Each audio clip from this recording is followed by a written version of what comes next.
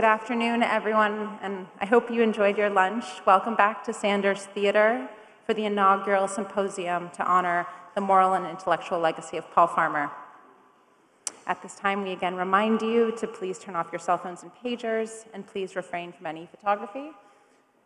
We're also delighted to share that this symposium is now live streamed and recorded for all those unable to be here with us today. As you've seen in your program, you have an insert with all helpful information, and we hope you enjoy the symposium and thank you for spending time with us to honor Paul today.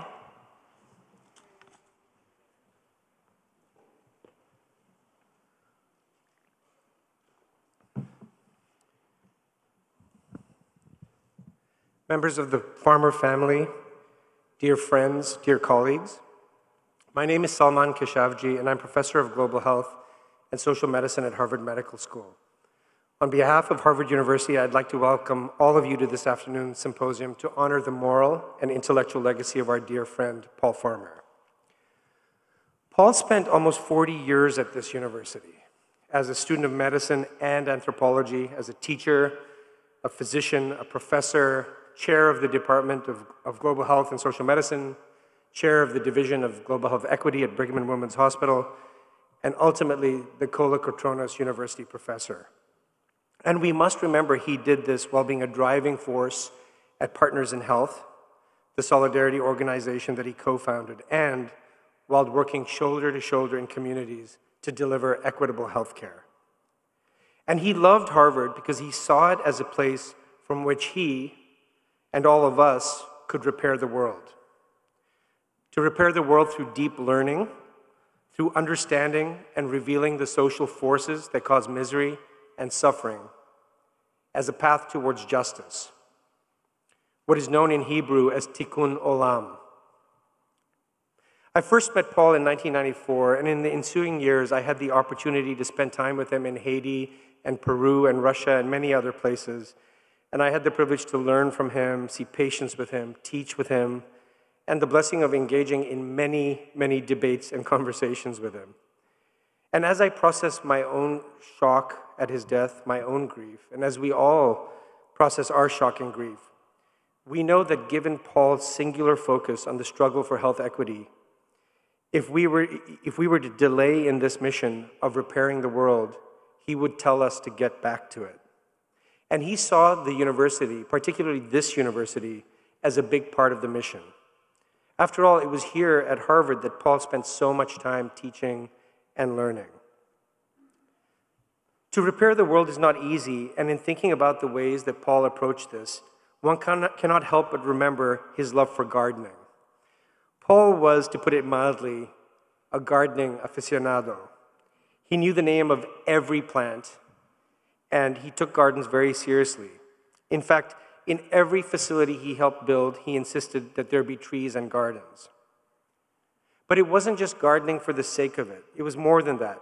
It was gardening as caregiving, as a way of ensuring that people who were sick were treated with the dignity they deserved. Gardening as a tool for social transformation.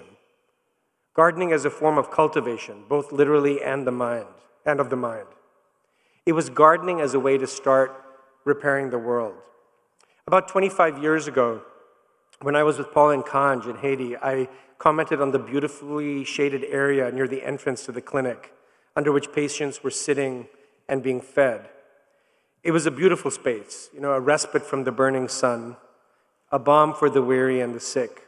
And Paul smiled and told me that it had been his hope that when people came to Cange for care, they would have a place where they could get some respite. And that this waiting area had been purpose built for that, that it had been part of the plans. A balm for the weary and the sick, and part of the plans from the very beginning. That's the kind of gardener Paul was.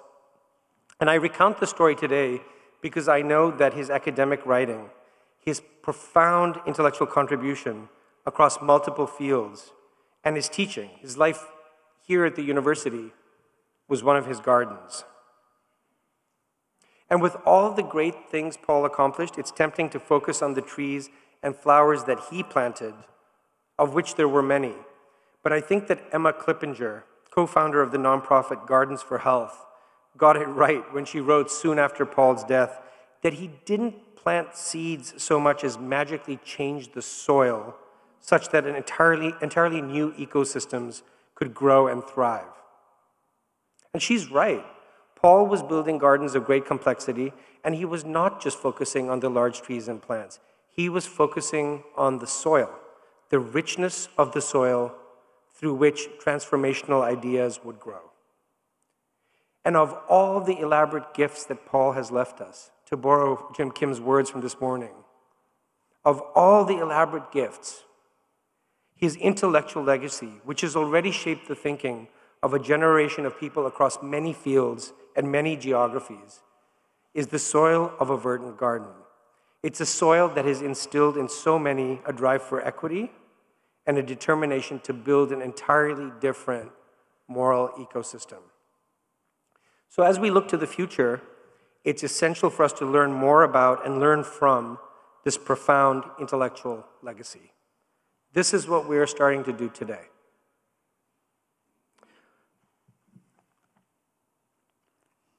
Paul has said on many occasions poverty is not some accident of nature, but the result of historically given and economically driven forces.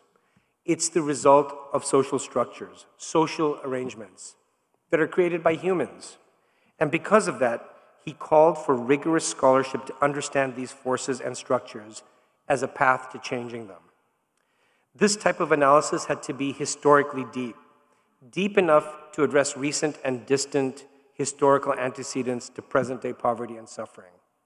And it had to be geographically broad to understand the linkages between poverty in one place and wealth in another, and understand that what happened to the poor and vulnerable is linked to the exercise of power, locally and transnationally. For this, he turned to anthropology, history, and sociology, often buttressed by philosophy and a critical epidemiology. He saw these fields as indispensable to social medicine, to understanding health as both a biological and social phenomenon. He referred to these ways of learning, these methods of analysis, as the re-socializing academic disciplines. And we have to remember, engaging in academic analyses of structural driver, drivers of poverty and the solutions was not some side gig for our dear friend. This was serious work and required rigorous scholarship, which he modeled. Paul himself wrote or edited 17 books and over 400 articles and chapters. And he fostered and encouraged the rest of us to do the same. For him, the quest for health equity would need to be built on foundations that were experienced near, historically deep, morally sound, and that were carefully reasoned. And this is where the academy, as a space for intellectual search and rigorous analysis, plays a critical role. And how did Paul approach this type of intellectual search and rigorous analysis? Well, he grounded the work for equity in a number of ideas that he drew from scholars of liberation theology. At the foundation was a focus on preferential option for the poor. To quote Paul, any serious examination of epidemic disease has always shown that microbes also make a preferential option for the poor. But medicine and its practitioners, even in public health, do so all too rarely. End quote. For Paul, preferential option for the poor was both a moral frame and an epidemiological insight about who gets sick and who dies. It provided, it provided a sound underpinning for the struggle for equity.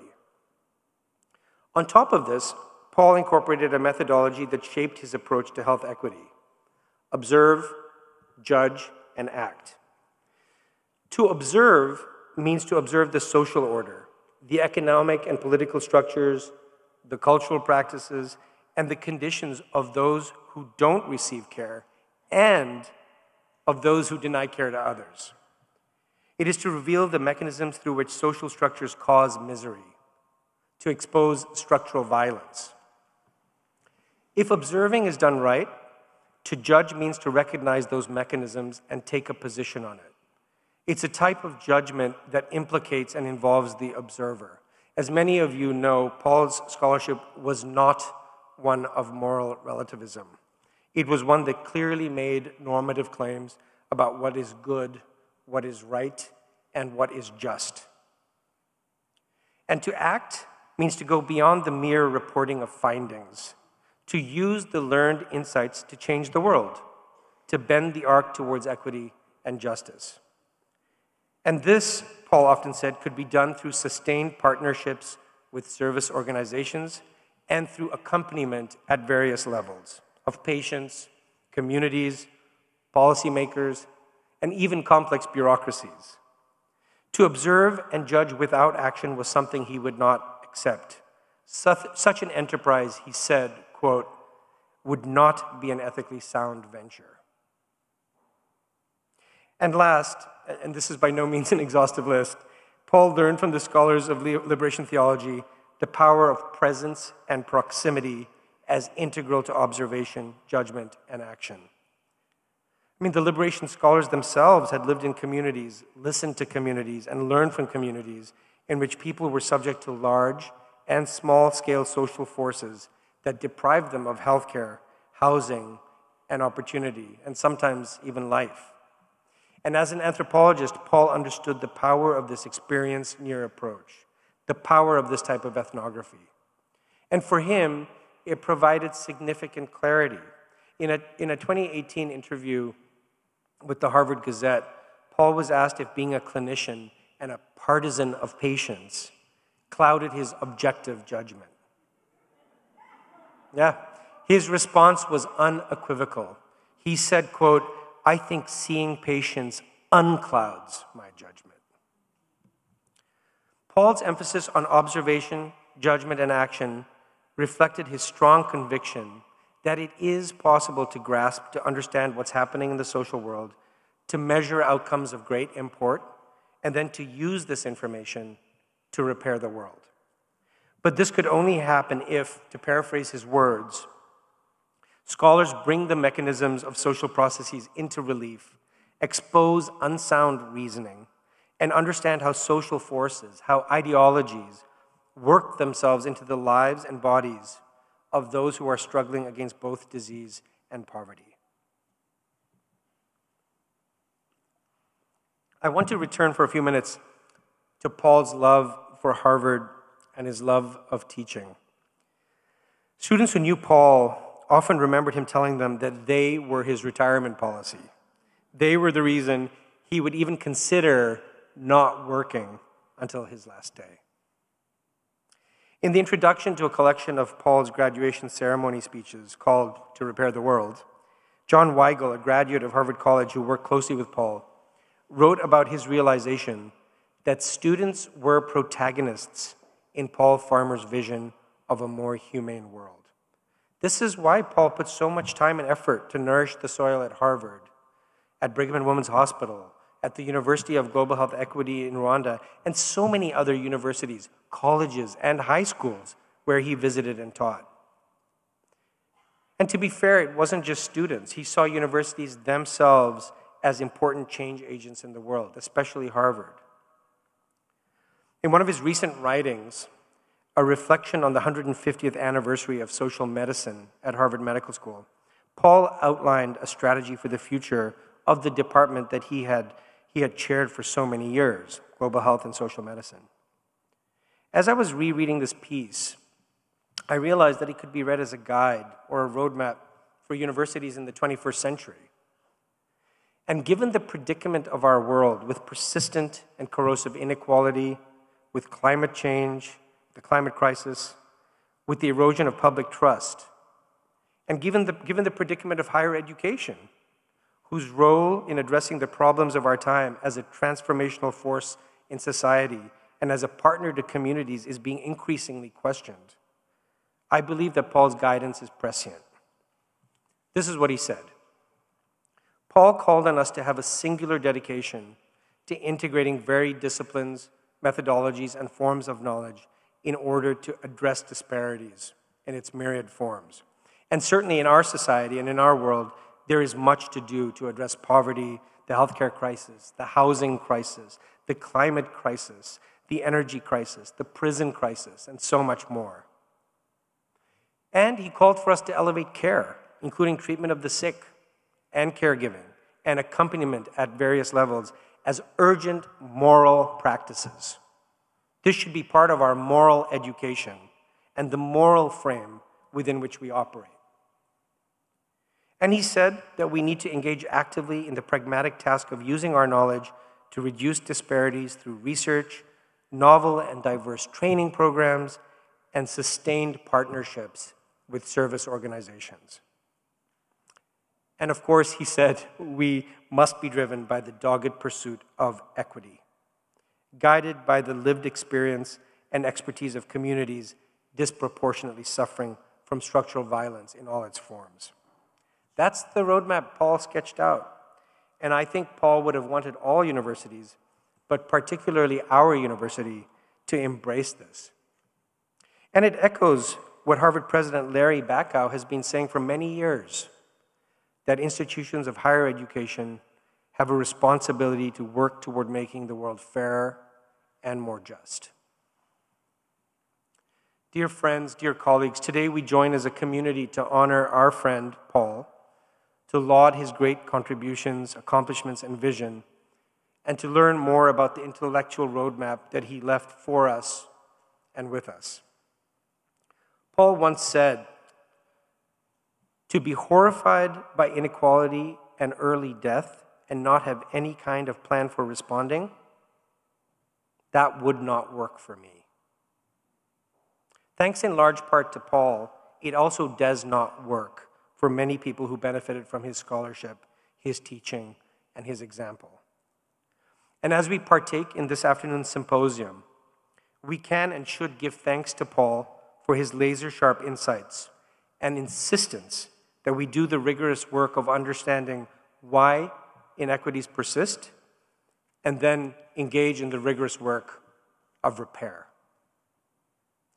Despite the sorrow of his absence, we can only be grateful that our dear friend, the constant gardener ensured that there was shade for the sick and weary, also nurtured the soil here and in so many places, such that his vision will continue to flourish long beyond his all too short time with us. And I will end today in the brightness of Paul's spirit with a prayer. May he rest in peace. May we continue to learn how to observe, judge, and act. And may his memory always be a blessing. Thank you.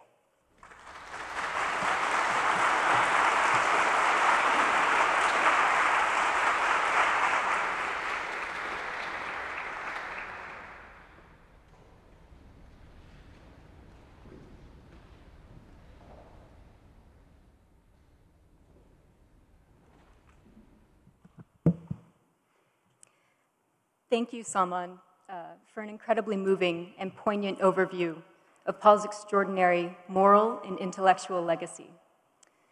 Um, my name is Marty Zeve. I'm an anthropologist and a lecturer in the Department of Global Health and Social Medicine.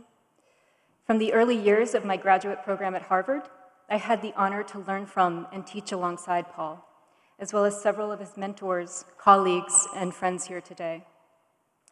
There is much to say about this experience, but to keep things brief, I'll simply note, without overstatement, that it has been profoundly life changing, and I am so grateful for it. Um, I was able to read the text of Salmaan's presentation a few days ago. His recounting of Paul's uh, reparative and transformative work brought to mind a line from Minima Moralia, Reflections on a Damaged Life, which was written by the German critical theorist Theodor Adorno during a period of exile in the US to which he'd fled from the horrors of fascism during World War II. Anguishing over the possibilities for ethical life in the context of a social order built on discriminatory violence and death, he observed wrong life cannot be rightly lived. When our collective existence is structured in such a way that good for some is extracted from harm uh, against others, um, we are all, in a sense, damaged. To be human is to be bonded together, and the failure to honor those bonds and their moral imperative to care for one another disfigures our shared humanity. In such circumstances, the only path to an ethical life, to right living, for those who benefit from such an order is to transform it. Paul's life and work illustrates this truth so clearly and insists on its moral entailment through a unique vision of repair. To repair the world, it is not enough to treat the wounds of those harmed by a harmful social order. Paul did plenty of that, certainly, and it was an urgent and central and necessary part of his work. But he also saw, as Salmaan so beautifully put it, that we must work together to diagnose, dismantle, and remake the material and sociocultural milieu in which humans live and grow and flourish or do not. This, for Paul, is the foundation for a practice of social medicine, care for individuals and communities, reform the social institutions, policies, and power dynamics that inequitably distribute sickness and suffering among humans, prevention and care. His scholarship leaves us with the tools to carry on this work. Over the next two hours, you'll hear from an extraordinary group of Paul's mentors, colleagues, former students, and friends who have worked with him to build and to expand this moral and intellectual legacy. Given its astonishing scope, we will not be able to explore this legacy comprehensively today. Instead, this symposium will be the first in an annual series dedicated to honoring Paul's body of work. The presentations are divided into three discussion panels. Over, uh, the first will examine, examine Paul's elaboration of crucial concepts such as structural violence and immodest claims of causality to unearth and challenge root social causes of global health inequities. The second will explore his use of ethnography and history to re-socialize public health and medicine. And finally, the third will engage with his philosophy of accompaniment and a commitment to making a prefer preferential option for the poor, as these serve as the moral basis of healthcare praxis. Each panel will open with a brief initial reflection, uh, followed by a lengthier presentation, before closing with two shorter reflections. We are so grateful that you have joined us uh, today to celebrate and to expand on Paul's extraordinary moral and intellectual legacy, and to continue his project of repair and transformation. Um, at this time, I warmly invite members of the first panel to the stage.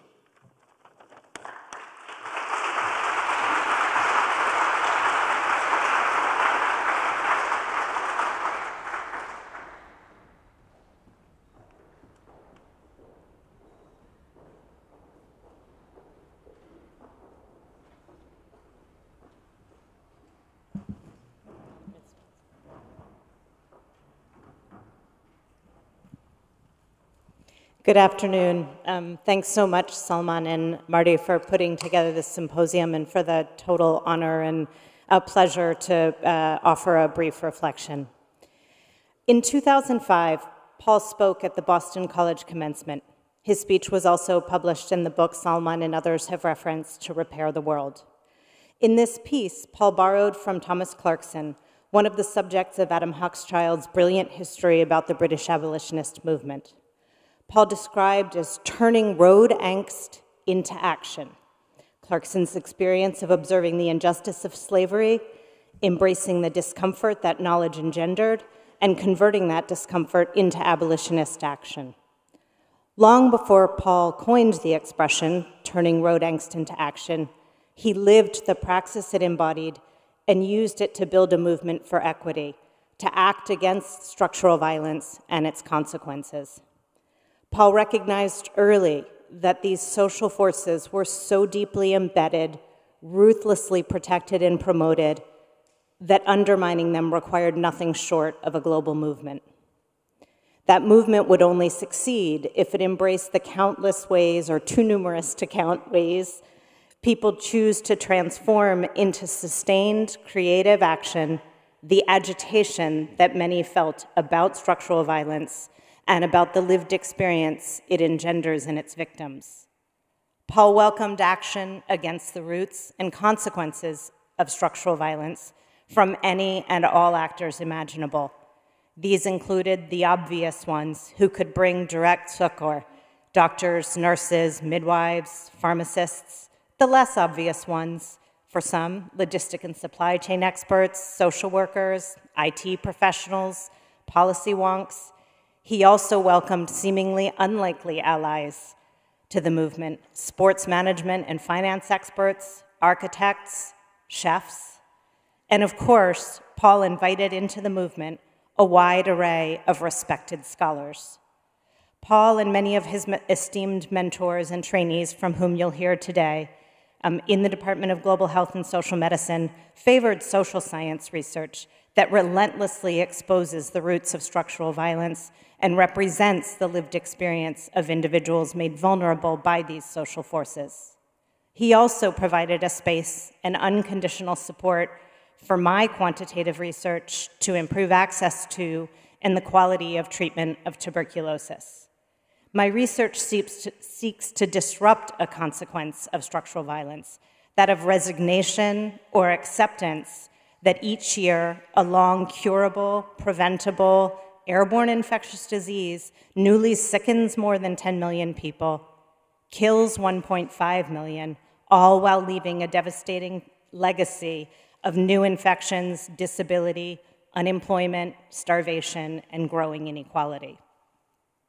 This work strives to permit people who live with or, at, or at, are at risk of TB to claim their human right to science, a right that is enshrined in the Universal Declaration of Human Rights and in international law.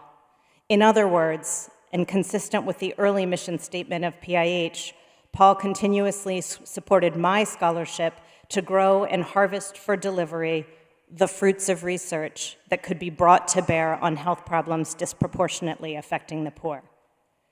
This work began as observational studies of implementation in low and middle income countries of the then standard of care for drug resistant TB. When it evolved to clinical trials in these same settings, Paul's support was unwavering.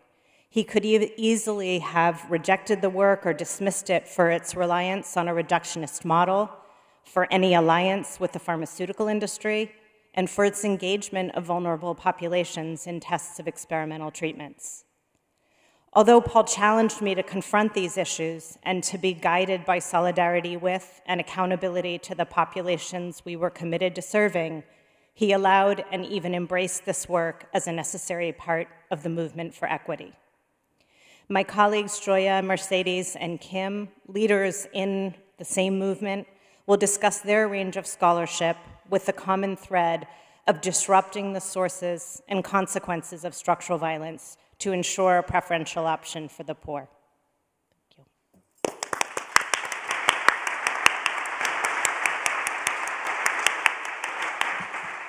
Thank you, Carole. I just want um, to say that mine is the lengthy one, so don't think I'm just being an air hog. Um, among the enormous contribution of Paul's scholarship was the creation, I believe, of a moral, new and moral framework for the philosophy of human rights. A philosophy that's an amalgam of his great gifts reading deeply, walking with, and listening to the poor, and taking action in concert with his moral understanding. Like Michel Foucault, Paul's philosophy was always linked to an extensive study of history and political economy, these forces that shape the social structures that oppress human beings. He understood Habermas's agency, but he furthered that to elaborate that agency is stolen from the pathologies of power, the choices of the powerful. In Paul's philosophy, we understand the Kantian categorical imperative that through reason it is possible to define what is moral and good. But in Paul speak, we call that an AMC, an area of moral clarity. While triangulating with these philosophers, Paul's moral philosophy was always grounded in Catholic social teaching. In Summa Theologica, Thomas Aquinas' tome, he defined morality as both the cognitive ability to understand and render plain areas of moral, moral, moral clarity, excuse me, and the appetitive power, the will to act on this knowledge. However, setting the stage for this revelatory alchemy of these philosophical themes, Paul's greatest moral teacher, the teacher of human rights, the teacher that we all must listen to, is Haiti. Paul's study of moral philosophy emanated from his love and study of the history and people of Haiti, from his friendships with the country of and people of Haiti, the righteous struggle of the Haitian people for liberty, the historical and present day structures of oppression, and the incisive clarity with which the Haitian poor view the world. These are the cornerstones of Paul's moral philosophy. In his 1994 book, The Uses of Haiti, Paul wrote The first order of business for citizens of the U.S. might be a candid assessment of our ruinous policies toward Haiti. He went on to call in that book for a new solidarity, a pragmatic solidarity that could supplant both our malignant policies and well meaning but unfocused charity with what the Haitian people are asking for justice. Paul's moral philosophy was positioned at the crossroads of health and justice, positioned at the crossroads of a new era of human rights, and articulated through a novel and progressive framing of the same.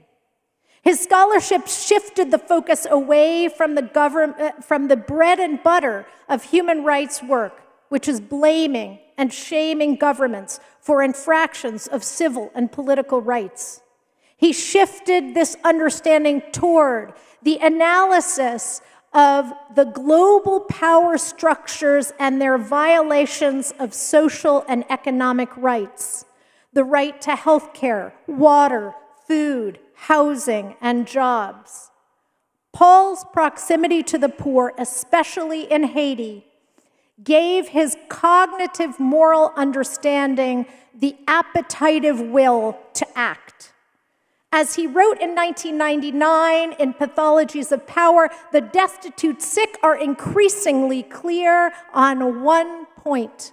Making social and economic rights a reality is the key goal of health and human rights in the 21st century, which calls for us not only to recognize the relationship between structural violence and human rights violations, but also to implement what we have termed pragmatic solidarity the rapid deployment of our tools and resources to improve health and well being of those who suffer this violence. He continues local and global inequalities mean that the fruits of medical and scientific advancement are stockpiled for some and denied to others. And here we are 24 years since the publication of Pathologies of Power, a pandemic sweeping the globe, and a stockpile of scientific miracles on the shelves of empire. Both in the US and around the world, the risk of contracting COVID 19, the access to preventive vaccines and life saving therapeutics, and the health outcomes of those who fall sick with COVID 19 map the structural violence of our global society. Black Americans are three times more likely to die of COVID 19. Only 1% of people in Burundi are vaccinated, and children of day laborers in India are, are experiencing severe, life threatening malnutrition as we speak. Paul's scholarship on moral philosophy allows us to see around the corner of biomedical victory narratives and understand that social, political, and economic forces result in material, urgent, and violent risks for those who exist in a death world of global racism, gender inequality, and impoverishment. And he has handed us the antidote. In book after book, talk after talk, discussion after discussion, we glean from Paul do something. Do something. Pragmatic solidarity, he says, the rapid deployment of our tools and resources to improve the health and well being of those who suffer violence. If Paul's scholarship in anthropology, history, political economy represent what Aquinas called the cognitive moral power, then pragmatic solidarity is his antidote for this appetitive moral power or a will to act based on a rational understanding of this broken world. Social medicine from the late 20th century onward will be shaped by the moral philosophy of Dr. Paul Farmer. By promoting deep scholarship that delves into why understanding why the world is the way it is, using historical and political analyses, a never ending, fascinating, and often heartbreaking discipline, one which is critical for moral reason. What were the uses of Haiti? From the US military occupation in the 20s to the US backed coup d'etat of President Aristide, and how do these events impoverish and sustain poverty in that country. By using the tools of anthropology, listening, observing, and even shutting up when need be. Upon understanding that a mother of, of seven has two sacks of maize until the next harvest, we can understand that taking medicine isn't the first thing on her mind. As Paul wrote in his 1992 book, AIDS and Accusations, AIDS was the last thing. Survival is the first. Thus, in constructing a hierarchy of human rights, we must put food, shelter, employment, and water, jobs as the first things, the fundamental rights.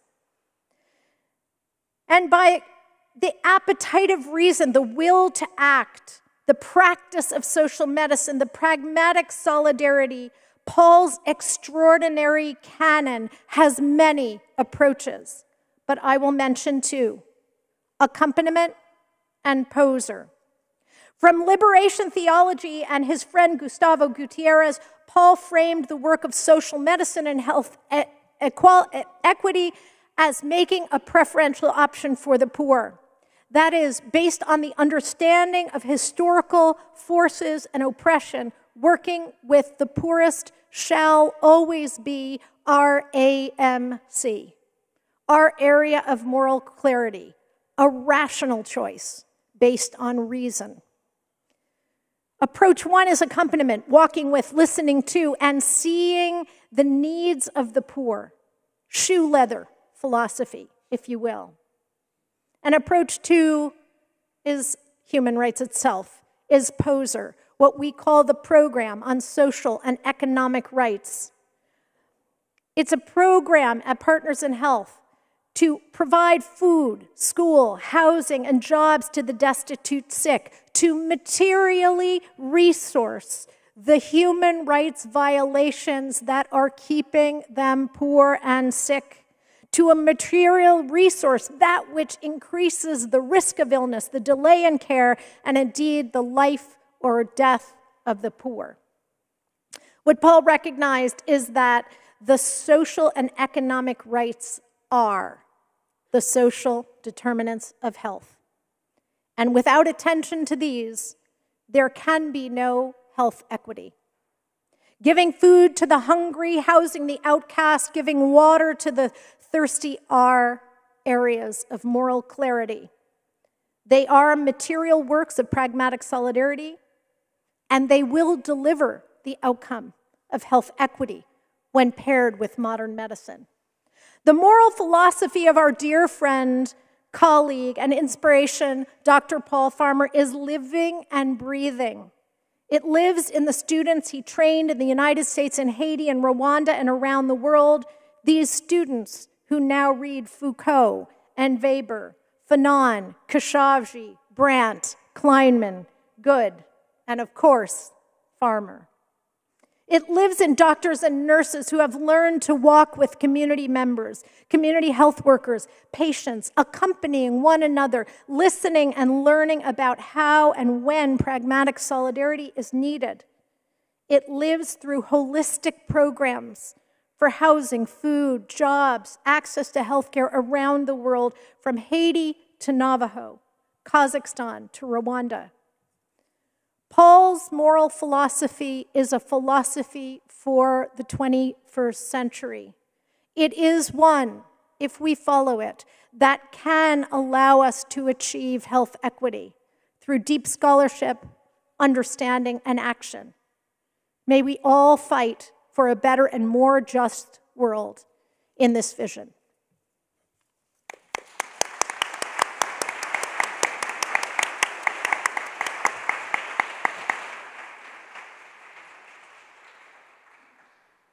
Good afternoon. My name is Mercedes Becerra. I'm a professor at Harvard Medical School and a senior epidemiologist with Partners in Health. My thanks to the organizers for this opportunity to celebrate our brother Paul. I will add my, my reflection of one key contribution of Paul's that blew open multiple lines of inquiry for his students, including me, to pursue, and we did. Today, I'll take you back, oh, 27 years to 1995, to the sandscape of hills and shantytowns of northern Lima in Peru.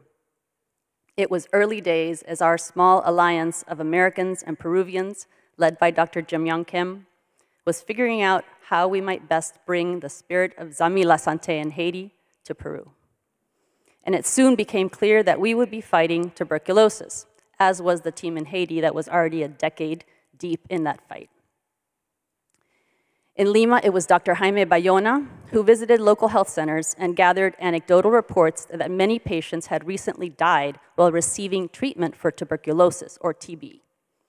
This did not make sense because curative TB treatment had been discovered almost 50 years earlier, and Peru's TB program was recognized as one of the best. Yet many patients we interviewed recounted how they had already lost family members to this disease. So, what was happening? Here's the crux. For TB medicines, TB antibiotics to work to cure you, the TB bacteria in your body need to be susceptible or killable by those particular drugs. If TB bacteria are not susceptible to being killed by a drug, they are said to be resistant to that drug. And in Lima, in interview after interview, we heard a recurring story. Persons who were sick with drug resistant forms of TB were being given treatments that could not cure their form of TB. These treatments, called short course regimens, were effective against TB bacteria that were susceptible to the drugs in those regimens. But the same drug regimens or combinations could not kill the TB bacteria that had already developed resistance to those drugs.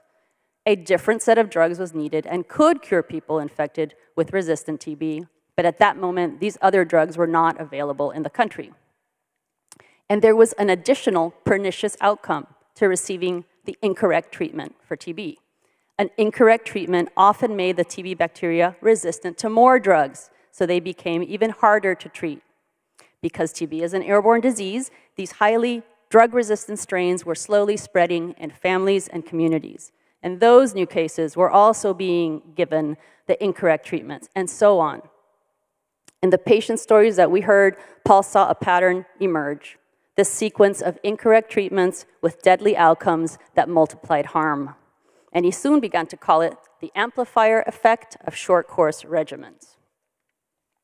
At first, I did not understand why Paul wanted us to use this term that he just coined the amplifier effect of short course regimens. In the literature, there were already other terms that could be used for what we were observing. For example, the term acquired resistance was common and seemed straightforward enough, as in a patient picked up more resistance while receiving the incorrect treatment, so acquired resistance. But Paul argued that these other terms were inadequate and even injurious. They led all too easily to blaming the patient. If you don't take your medicines correctly, you are the one causing your treatment failure and worsening resistance. Jim shared the same type of story from people in prison in Russia. This was evident in the stories we heard. In Lima, patients were being admonished to stick to incorrect treatments that had already failed their family members. Essentially, in Peru and many countries outside North America and Europe, public sector TB programs were delivering the wrong treatments to a small proportion of TB patients because the correct treatments would cost more and would not fit into the TB program's minimalist budget. Remember, this was the era of structural adjustment when many governments were cutting public sector spending in order to pay back old and unfair loans under the pressure of international finance agencies. And public health guidelines followed lockstep with the logic of cost reduction. Cutting costs was seen as the rational path, regardless of what would happen to some small proportion of TB patients that turned out to be millions around the world.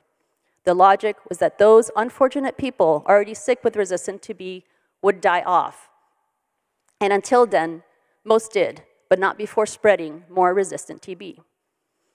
Indeed, Paul's use of the amplifier effect of short course regimens pushed the explanatory process away from blaming the individual patient.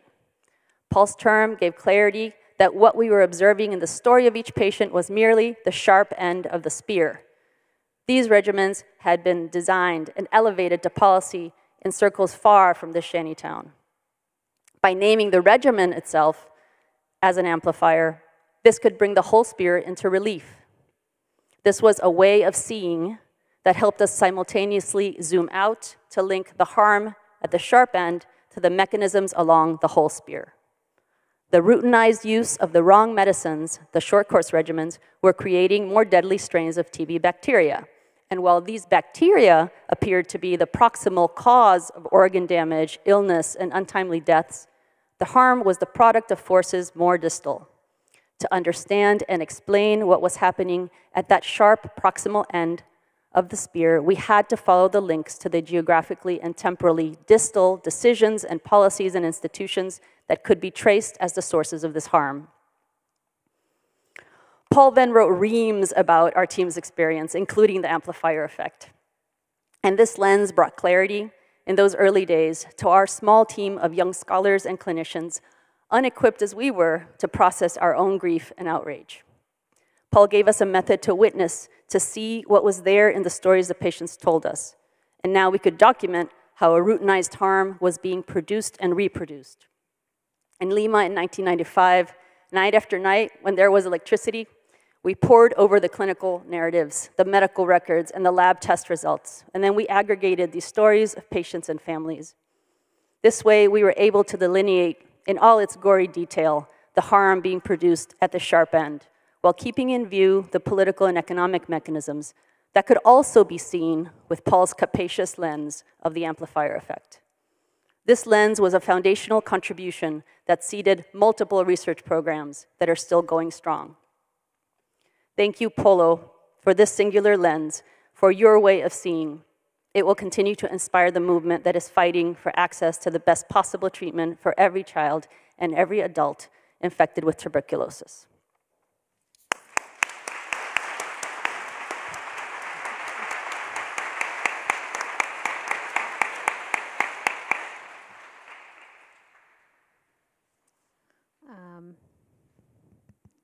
Thank you. Thank you all for being with me here today um, so we can collectively pause to honor Paul Farmer's life, work, and his enduring impact on all of us.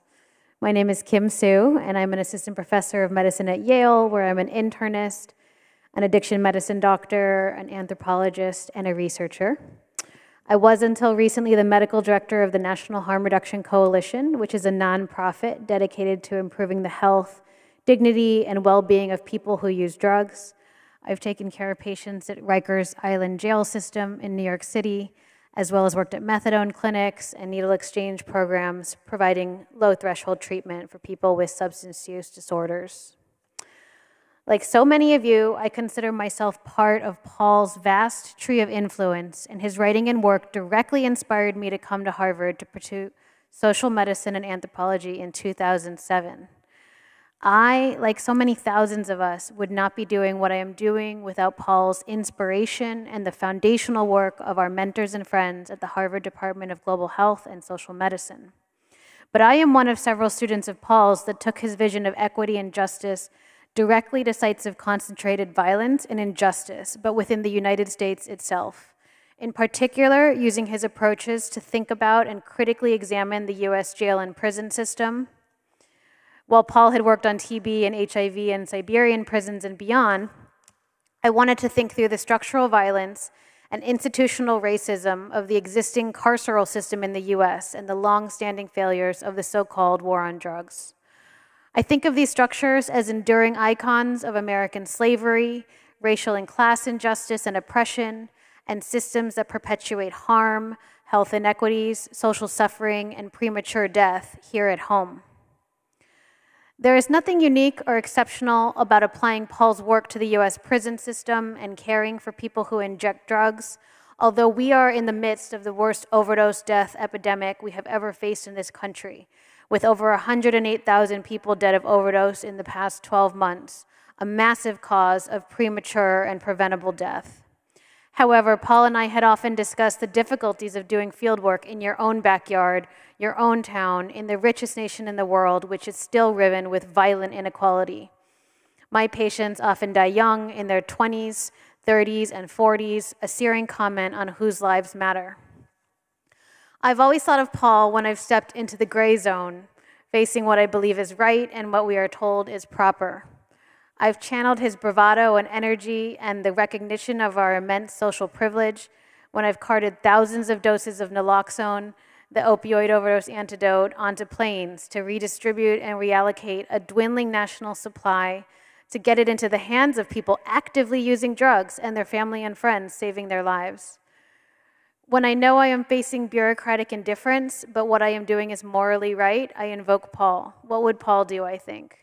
When I am sitting on a panel advocating at the White House for funding for syringe service programs and decriminalization of possession of drugs, I am channeling a piece of Paul.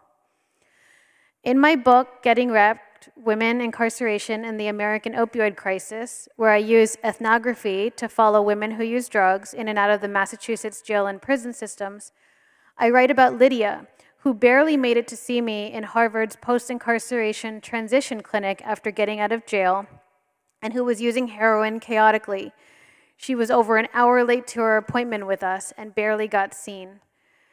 I advocated for the clinic to remain open to wait for her, to acknowledge the gargantuan effort amidst the chaos it took to make it to us. Paul once wrote for us to think about who gets to be your patient, who makes it to you, who is so lucky. He urged us to innovate, to think about those who don't get there, those who don't get to be your patient. So many of my patients who use drugs say they would rather die than face the violence, stigma, and criminalization they experience in hospitals at the hands of our colleagues. I am constantly admonishing these colleagues who are steeped in our culture's hostility towards people who use drugs, but at the same time, in the spirit of Paul, I attempt to demonstrate and model new ways of caring through harm reduction practices and principles, meeting people where they are and not leaving them there. And still, our patients are dying, and we are not reaching enough people. Lydia told me that the reason it took her so long sometimes to reach me was she traveled in back alleys to avoid encountering police because she had open warrants.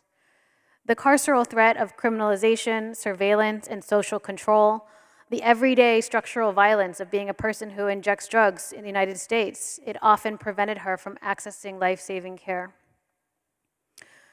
When Lydia died of an overdose several months later, I recognized it as the social, clinical, and policy failure it was, in part because of Paul's work. It marks my heart and is one of the reasons why I continue to advocate so strongly for overdose prevention centers, among other basic necessities for people who use drugs, addressing the upstream conditions of harm so that the most vulnerable people can access dignity, respect, compassion, and live to be and remain our patients.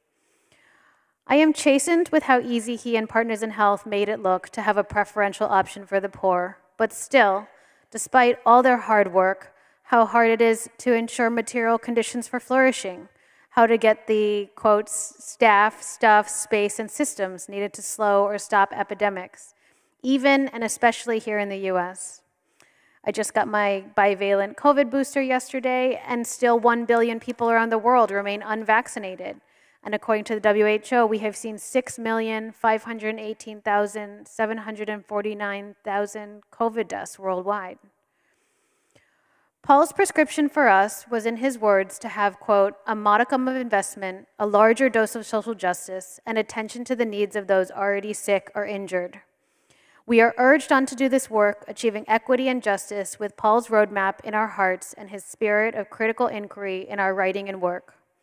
My work towards U.S. prison abolition, research and advocacy in liberatory solidarity, and justice for people who use drugs relies heavily on Paul's guiding principles.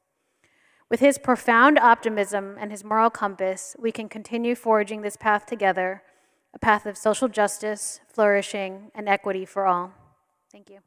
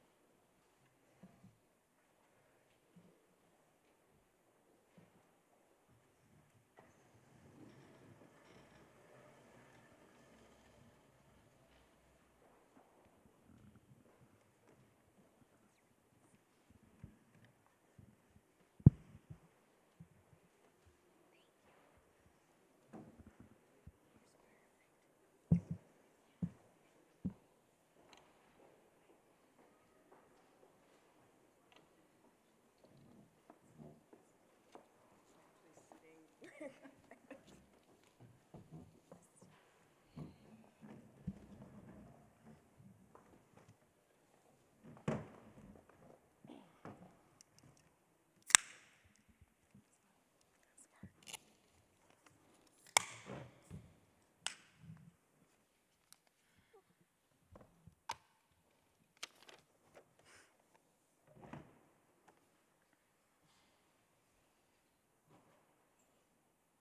Mary Jo and I will share the introduction and then pass it along to Adia, who will be doing the first talk, and to Anne and David.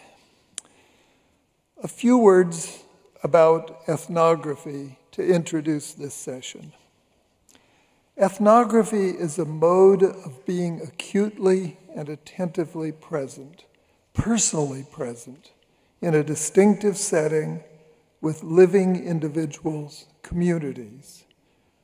Amanda Gorman recently said that a poem begins with a wound.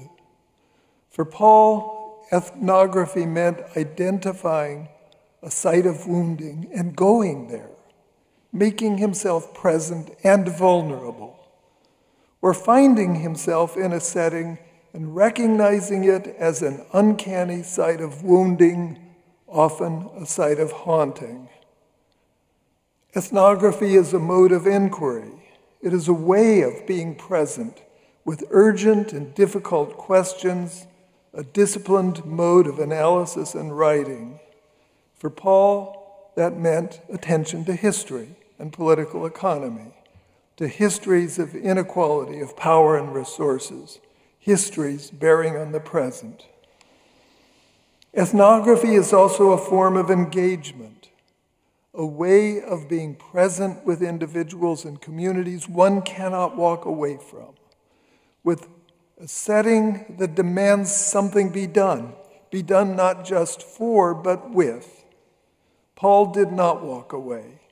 He often took up that something to be done not with optimism, except in that Gramscian sense that Jim talked about, Optimism is often based on evidence and a calculus that things will be better.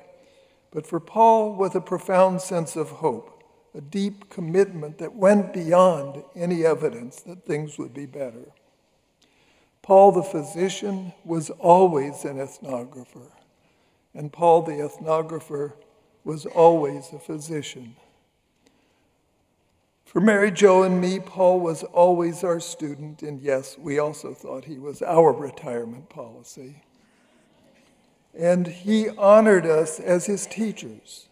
He was always our colleague and made us fellow travelers um, in what we were doing. Paul was our friend in the deepest sense, and Paul was always our teacher. Paul, the physician, activist, ethnographer, was always a teacher, in particular for young physicians around the world, with whom he had a special way of being present. An acute ethnographer of local worlds of medicine, critical, of course. He engaged young doctors in creating new ways of providing health care for the poor. In an interview I did with Paul and Dr. Christophe Millian, one of Haiti's renowned OBGYN surgeons, in May of 2020, Paul said he invested, and he, this is a quote, in the young talents, new medical graduates waiting to serve, by caring for hundreds of patients, patients in partnership with them especially during intense periods of social unrest, murders, kidnappings, coup, political violence, and ultimately earthquake disasters. He inspired and became a role for many, teaching by doing, connecting with patients. Paul's goal and efforts, to quote him, was to save these young doctors from cynicism a loss of enthusiasm, a belief in the profession. It led many to return over the years to continue the partnership forged when they were young, joining in building and staffing the University Hospital at Mirebalais, where Paul said, where the action was, where the promise was. Clinical teaching was, Paul's, was one of Paul's greatest joys. Dr. Millian, recently reflecting on 22 years of Paul being his professor, said Paul oriented my analysis, my thinking, my writing, my empathy, compassion, relationships, and communications with pa patients the way I teach social medicine, my critical thinking, and scientific curiosity. He makes me think that nothing is impossible to save my patient's life. Yet he helped me to cultivate humility.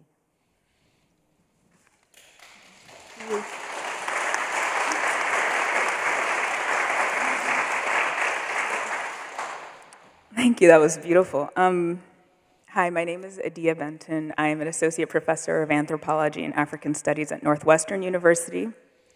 And I'm going to give you a title so that you'll know the theme. Um, this paper is called uh, Reading, Reading with Paul. Um, and, and it'll be clear why, I think. But earlier this year, in the midst of a geeky text conversation with Paul about Evans Pritchard, and the Azande people of South Sudan, I wrote, I think I have ADHD. All the tools that I used to manage my disordered executive function were no longer working as I struggled to finish a book about Ebola in Sierra Leone. The Azande story I was telling him was one in a string of many diversions. And he quickly responded to me, I know I have ADHD, but I can read gangbusters. Paul was a prolific writer, as anyone who's waded through the drafts of his 100 page chapters knows. But he was also an avid reader. If there's such thing as a prolific reader, he would have been counted among them because his readings have been productive in the sense that his reading practice played a central role in his ethnographic analysis of biosocial phenomena. The practice of reading and rereading formed the foundation of his robust anthropological scholarship, which incorporated history, political economy, and clinical medicine, as you've heard from many people today. And he turned that into ethnographic analyses and political action. Paul used to say, I'm an anthropologist anytime I am awake. His orientation toward the world, his clinical practice, his vision of public health came from intensive study of social theory, human experience, and, and particularly illness experience and experiences of suffering, of liberation theology, of course, as many of you have heard. Um, and he also said, you know, I was, I was poor. the handful of times I saw him on the eve of accepting some prestigious award, he'd say, not bad for a cracker from Florida, huh? And while it might be appealing to narrow his legacy to a desire to cure the world, as in the title of, subtitle of the Kidder biography, Paul's moral and intellectual legacy and praxis extend well beyond that. I first met him in 1997 when I was an undergraduate at Brown. He'd been invited to speak in a class that I would later teach at the same university 15 years later, AIDS in the International Perspective. He was friends with the course instructors, Pat Symonds and Lucille Newman, two women born in the 30s who were also pioneers in medical anthropology and reproductive justice issues. We studied and discussed hundreds of pages of reading per week. Um, we hosted AIDS activists, researchers, and embarked upon projects in the AIDS community service organizations throughout Rhode Island. And, and so, in preparation for Paul's visits, our professor professors assigned his work. Paul was in his late 30s, but he had already written and published two books and co edited a third by the time we hosted him in our classroom. Um, we had to read two of those, of those three books for seminar that week. The first book was AIDS and Accusation Haiti and the Geography of Blame, where he championed a geographically broad and historically deep approach uh, for interpreting what he called the ethnographically visible dimensions of social and economic life. The second was Women, Poverty, and AIDS Sex, Drugs, and Sexual Violence. Very provocative title, which was co edited with Janie Simmons and Margaret Connors for the Institute for Health and Social Justice. So, um, this is when I explain how bad a student I was. I prioritized studying for my immunology and genetics exam that week, so I did not read those books. During his lecture, Paul discussed women, poverty, and AIDS, which would serve as a manual of sorts as I carried out community work in AIDS service organizations over the coming years.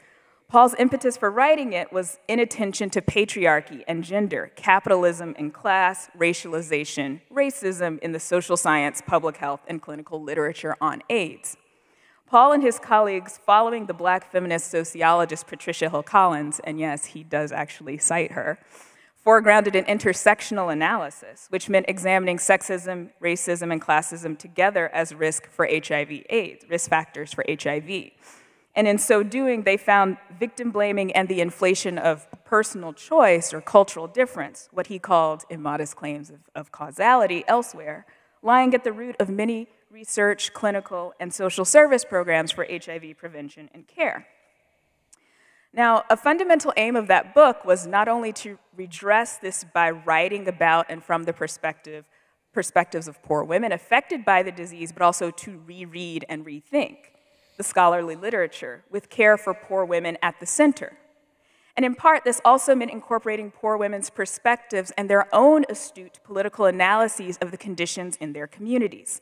A chapter in Women, Poverty, and AIDS, which I think also appears in Infections and Inequalities, features a story of a group of self described poor women, Haitian women, who, in light of high rates of HIV transmission, developed an education program during which they showed a video, demonstrated proper condom use, and facilitated community discussions.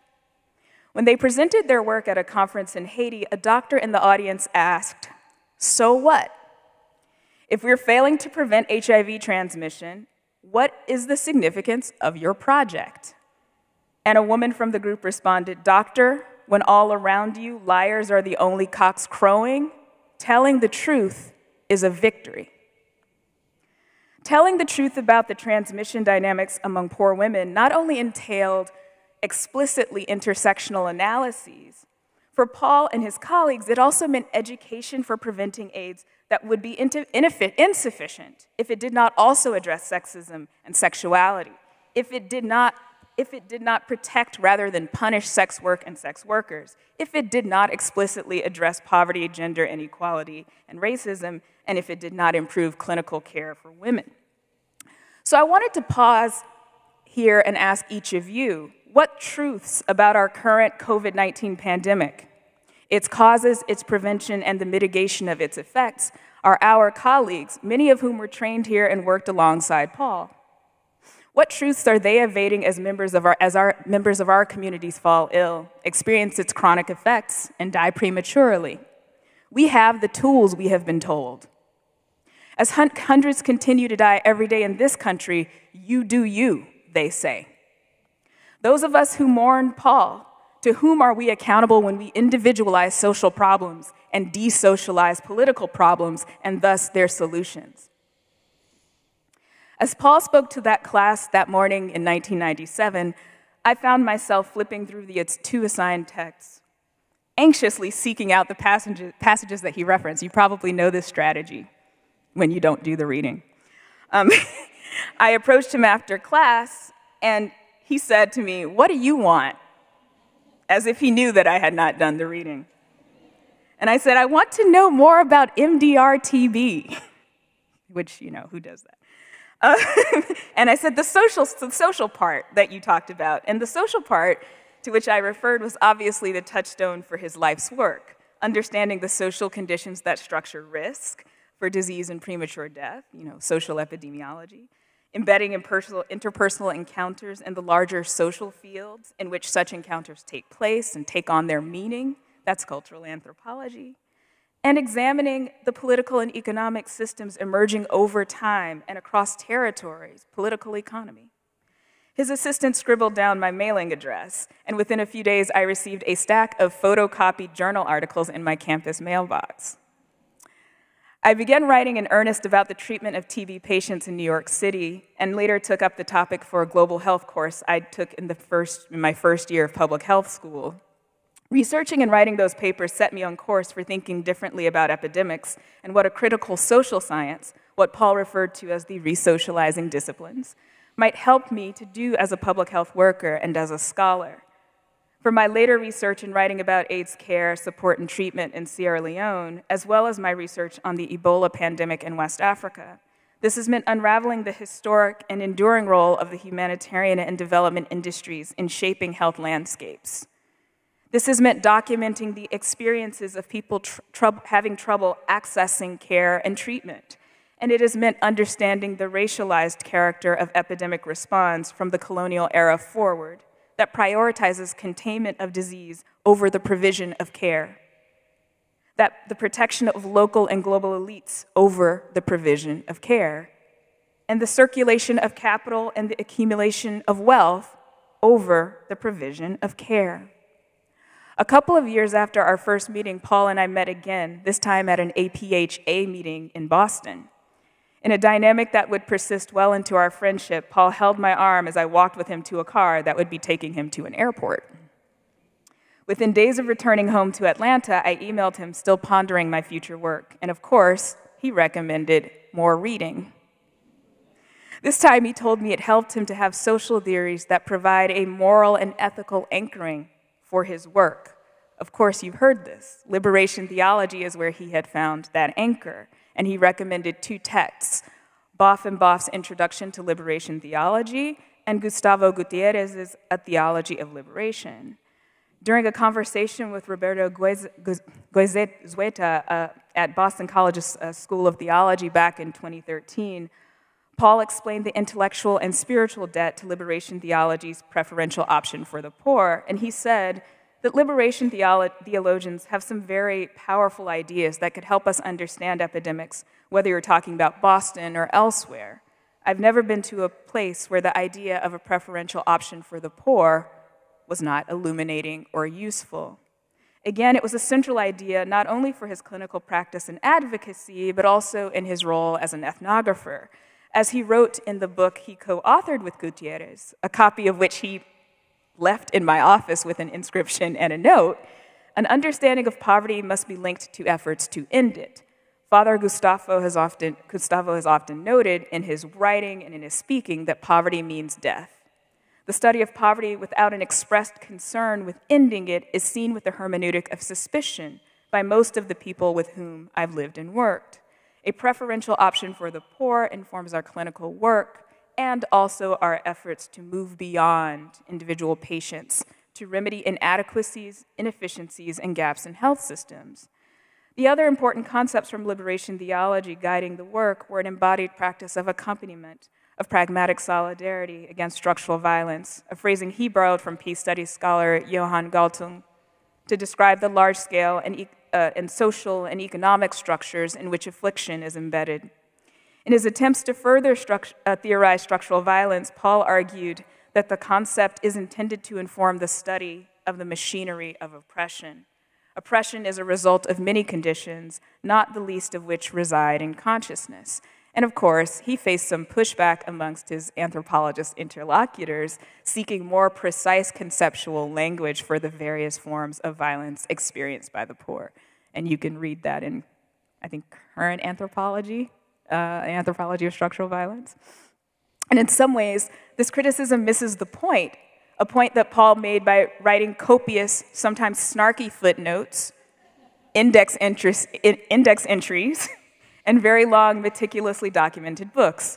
No single social theory or methodology, no devotion to analytic parsimony that a single theory might offer us is adequate for explaining and ultimately defeating the sinful structures in which we are all enmeshed and often help to reproduce.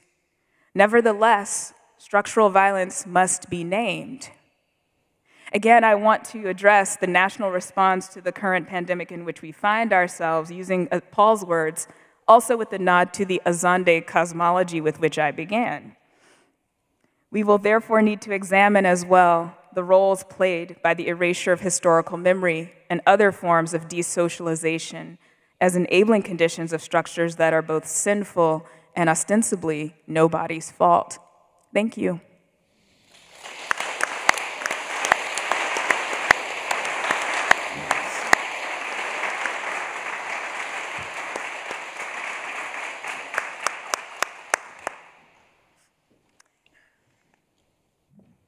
Good afternoon. My name is Anne Becker. I'm a professor of global health and social medicine at Harvard Medical School. And um, I want to start by saying it's a great honor to join my esteemed colleagues in paying tribute to the moral and intellectual legacy of Paul's, excuse me, of Paul Farmer, and in particular to offer a brief additional comment in response to Professor Benton's erudite and moving remarks. Knowledge production was at the heart of Paul's project to repair the world, and ethnography was his preferred mode of producing knowledge. Indeed, much of his transformative analytic work, from his first book to his last, is built on the sturdy empirical foundation of rigorous ethnographic scholarship. For Paul, ethnographic data were also deployed as a corrective, a rebuttal to dominant explanatory narratives in global health, public health. Ethnography, a methodologic lever to be pulled to critique or rescue overly reductive analyses that featured, in the words of one of his signature phrases, immodest claims of causality. With experience near data and richly contextualized formulation, he's, he sought to enlarge the scope of inquiry and understanding. And especially, relentlessly, he meant to upend the narrow view of resource scarcity as a fixed and terminal condition, as if it were a given that could not be undone by the same social structural forces that birthed it. It needs to be said that Paul was equally ready to critique reductive analyses issuing from ethnographic work, debunking unsupported culturalist formulations that were not just inaccurate, but also dangerous in obscuring actionable social structural determinants of poor health.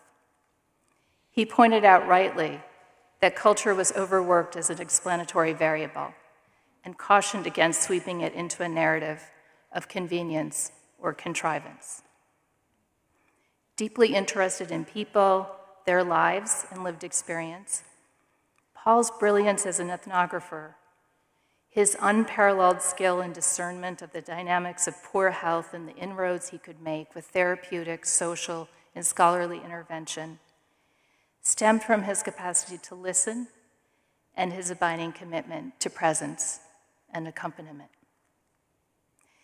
The scope of Paul's analysis was more panoramic and complex than ethnography alone could encompass. And Paul, a cosmopolitan and intrepid scholar, brought the tools of historical analysis, lots of other tools too, from liberation theology, political economy, epidemiology, etc. He brought these to bear toward limiting the social structural pathogens that entrench poverty, poor health, and other forms of suffering. And to be clear, knowledge production was never the end game that Paul had in mind for his work. Rather, his goal was to produce knowledge that could be trained toward translational purpose, toward a path for redress. Like Professor Benton, I think often of the impression Paul made on me when we first met in the fall of 1983, when Paul was an applicant to HMS who, like me and Jim Kim too, hoped to study anthropology in a joint MD PhD program that was just being rolled out. And I was a first year student dispensing my wisdom to Paul. that was not an era for the field of anthropology when scholars or students were generally encouraged to fashion their scholarship for translational use. I told Paul so. And when he averred that he certainly would not be attending any doctoral program that frowned on applied work, I remember how worried I was for his future in the field.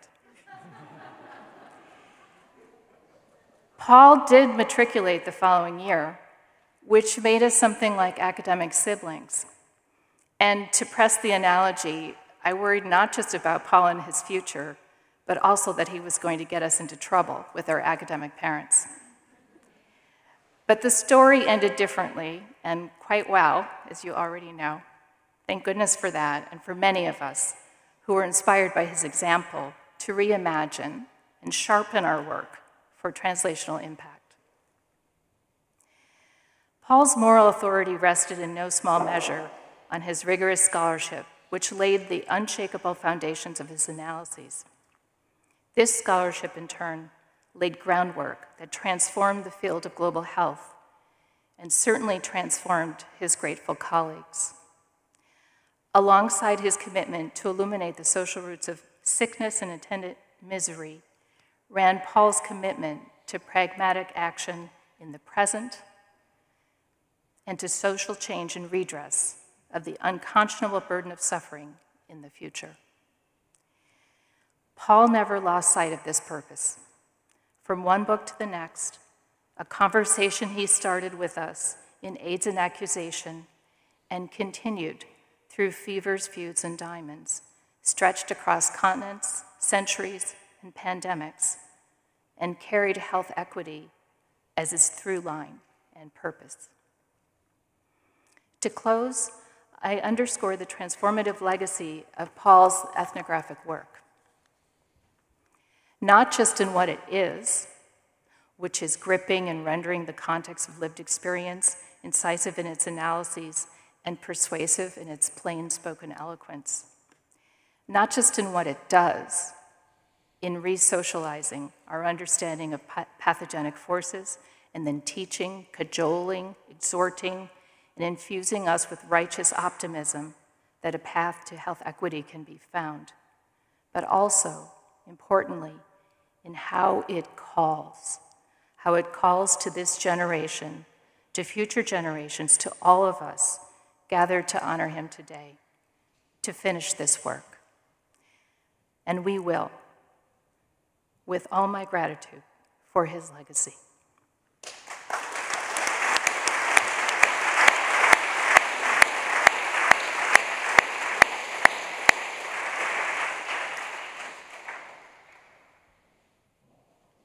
My name is David Jones, and I was one of Paul's many students who became a colleague with him in the Department of Global Health and Social Medicine. We are all remembering and celebrating Paul today for many reasons. One reason that has not yet been discussed is his prowess as a historian. Some of you will be surprised to hear me say this. We all know that Paul was famous as a physician, anthropologist, visionary, and humanitarian. But as a historian, Let me make the case. In 2015, in October, I flew with Paul to Dubai for the grand opening of the Center for Global Health Delivery. While waiting between flights in an airport lounge, he reached into his tote bag and pulled out a file. You have to see this, he said.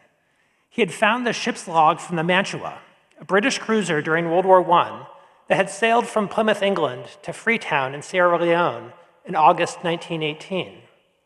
It was likely this ship that introduced influenza to Sierra Leone, sparking an epidemic that quickly spread throughout West Africa. Paul was delighted that you could find archival evidence like this to support his arguments about the toxic connections between imperialism, political economy, inequality, and infectious disease.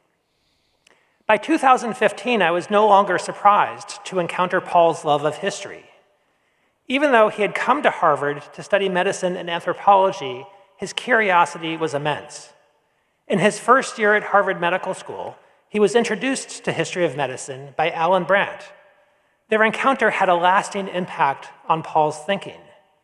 You can see this in his earliest work. AIDS and Accusation is full of history.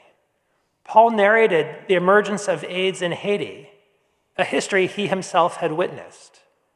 He showed how the local community in Cange had been displaced and impoverished when a hydroelectric dam project had flooded their valley in 1956.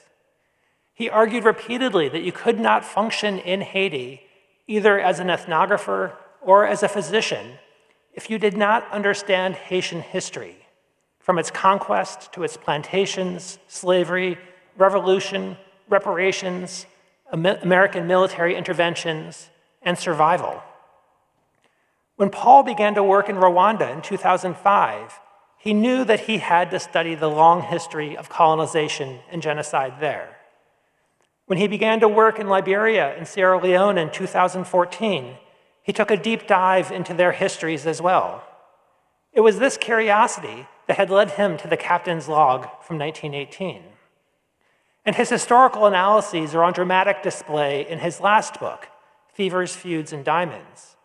The four historical chapters are the longest section of that book.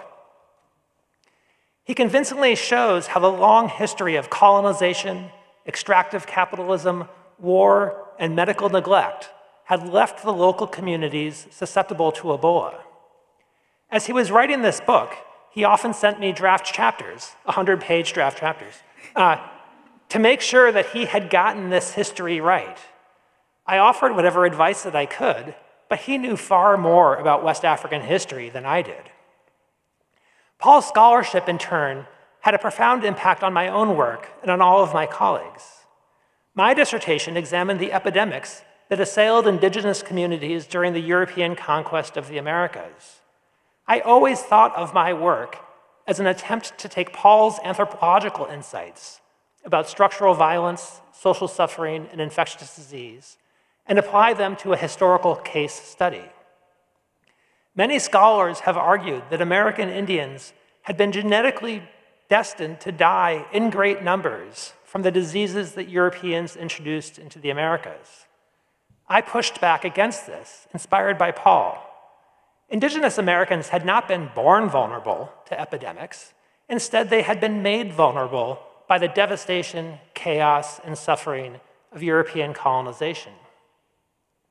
My own writings prompted many conversations with Paul about our shared historical interests. He often wanted updates from me about the latest historical or archaeological research about the demographic of Hispaniola in the 1490s and 1500s.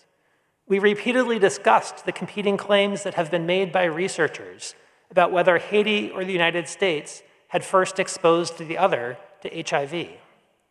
We debated whether the high rates of hypertension that Paul had found in Haiti could be attributed to the people's histories of slavery and forced labor. As you've heard many times today, Paul always had a knack for capturing complex ideas with clever slogans. He would often talk about immodest claims of causality or the space, staff, stuff, and systems that are required for good medical care. To explain his ideas about biosocial analysis, he told people to look around and to look behind. As Byron had said, to examine both the, politi- the political economy of a community and its history. Historical analysis was always an essential part of his thinking, not only because he had deep curiosity about the people with whom he worked, but also because he knew that historical insight could inform and motivate the interventions that communities need.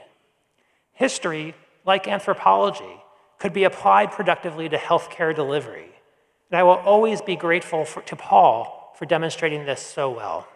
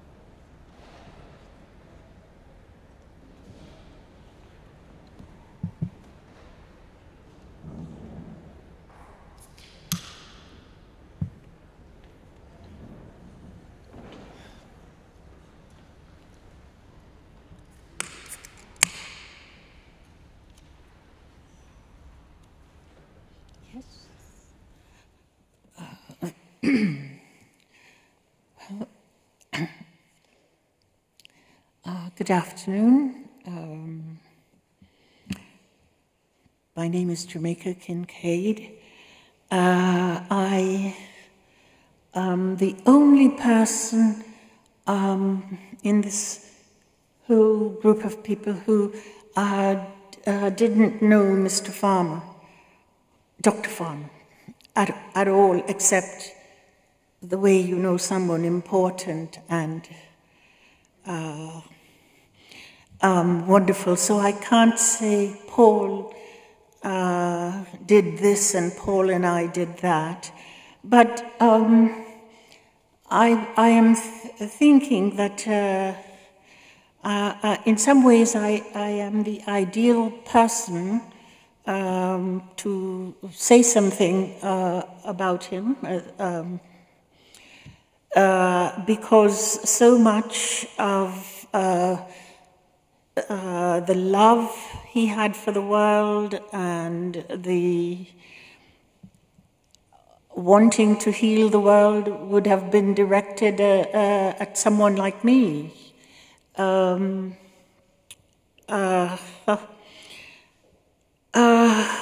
I come from a place in the world where, when I was a child, a person like Dr. Farmer would have been an especially welcome presence in my life. Uh, I'm often described by people as uh, growing up in, in tropical poverty, and the example they will give is um, that I had no, uh, grew up without uh, running water in my house, central plumbing, or um, electricity. And uh, sometimes, if I feel like annoying them, I will say, well, neither did Queen Victoria. Um, but then sometimes I'm just quiet. I don't say anything. I let them say that. Um, but I, I, I, did grow up in, in, in poverty, though um, what that would mean. Um, perhaps this is an example uh, of the poverty I uh, grew up with. I had measles, whooping cough, and typhoid fever all before I turned seven, um, one after the other, and I survived them. I saw children uh, my age um, die. I was in hospital and they, they died, and I could tell they'd died because a screen was drawn around their crib. Uh, no screen was drawn around uh, my crib. Um, but then I had a small scratch on my shin uh, that wouldn't heal, and it eventually became uh, the sore, a sore the size of a penny, a British size penny. It then began to behave like a little volcano, growing in depth, changing colors red, pink, yellow, uh, erupting, subsiding. Uh, and no, no one knew what to do about it. There was no doctor that I could be taken uh, to see about uh, this uh, changing thing on my shin um, that sometimes was so deep you could almost see the bone. Um, uh, my poor mother uh, was torn between blaming herself from not uh, protecting me from evil spirits that had been set upon us by someone who envied me, uh, in, in particular for my stellar performance in school, or, or someone who envied her because she was the only woman my stepfather had married. That is the only woman with whom he had children and had married. He had many children with many women, and um, for some reason he married her. Um, on the other hand, she believed and could see the imperial penny sized wound uh, I had on my shin might bear being attended to by a doctor. And so every other afternoon, I went to a clinic where the wound was looked at by a nurse uh, who would swab it with cotton soaked in iodine, then gentian violet, and bandage it up and send me home. And this went on uh, uh, three times a week. I saw her Monday afternoons after school, Wednesday afternoons after school, Friday afternoons after school. Nothing happened to the wound. It went this way, that way. Uh, and then um,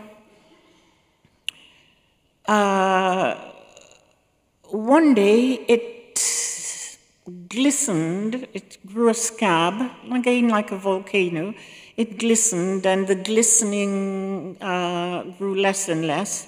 And uh, then it was healed. The scab fell away, and then I had uh, just a pink flesh that then turned to the usual color uh, of my brown skin. Um, uh, this sore was that was so worrying. Once it healed, it was forgotten by everyone except me uh, because I can still see uh, the scar every day. Uh, as I say, I did not know of a Dr. Farmer or that there could be such a thing as a Dr. Farmer, a person who uh, would not just go out of his way, but go out of, of his own self to think of someone like me or the many people who look like me. Um, as I say, I know of him because I read I read about him in, in, in newspapers. I took a special interest in him whenever I saw something about him because I, again, I was reminded of my childhood and uh, all the people I grew up with um, who would um, die of things that, you know, something people would die of easily is something called a goiter. It was well known you shouldn't have a goiter operation because you would never come out of it. Um, but I can see that if there was a Dr. Farmer in our lives, we would have come out of it. Um,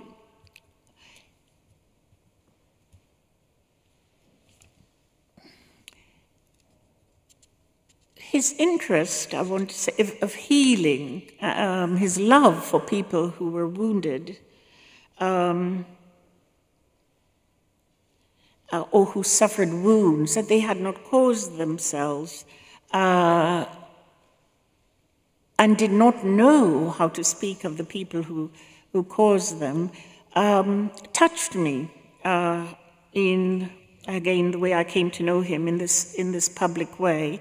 And uh, I sincerely regret not being able to, to thank him. Um, not that it would have mattered. Um, so here we are celebrating the life of this good man. We're sad, but also we have a kind of joy because he added so much to our to lives, uh, my own, even though, as I say, I, I, I, I didn't know him. Um, but speaking personally, uh, well, I am always speaking personally, so. Um, I, I am um, filled with a little bitterness uh, at life uh, in general. Um, and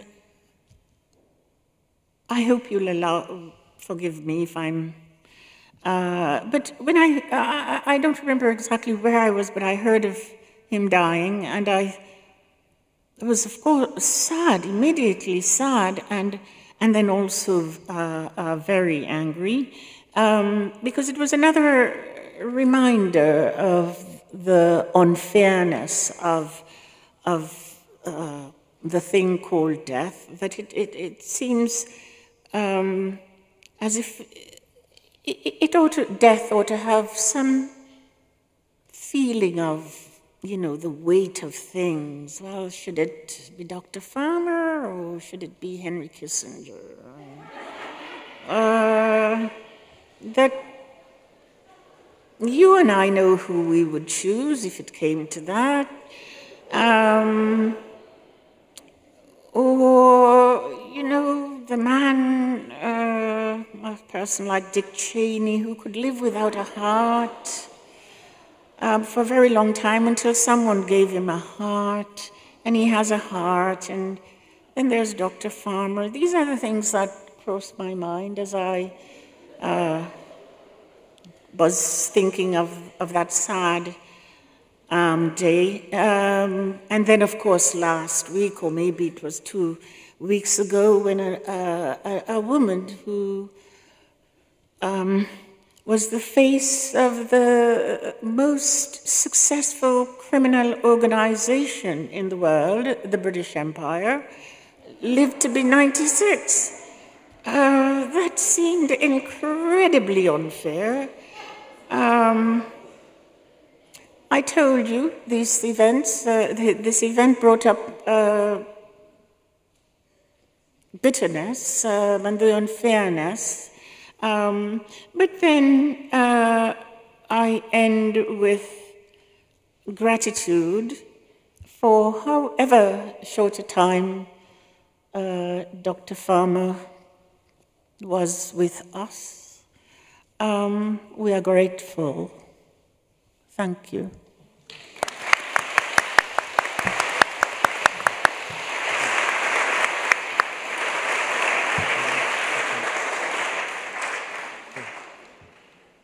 Thank you.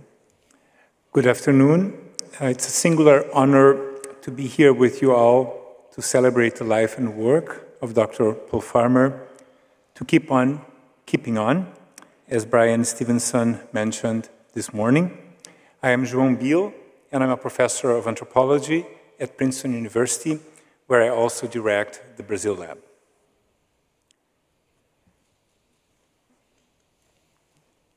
Will they show the image? Okay, great. Okay, great. The trick of the world, its secret and its truth, is that it is the fountain of all things.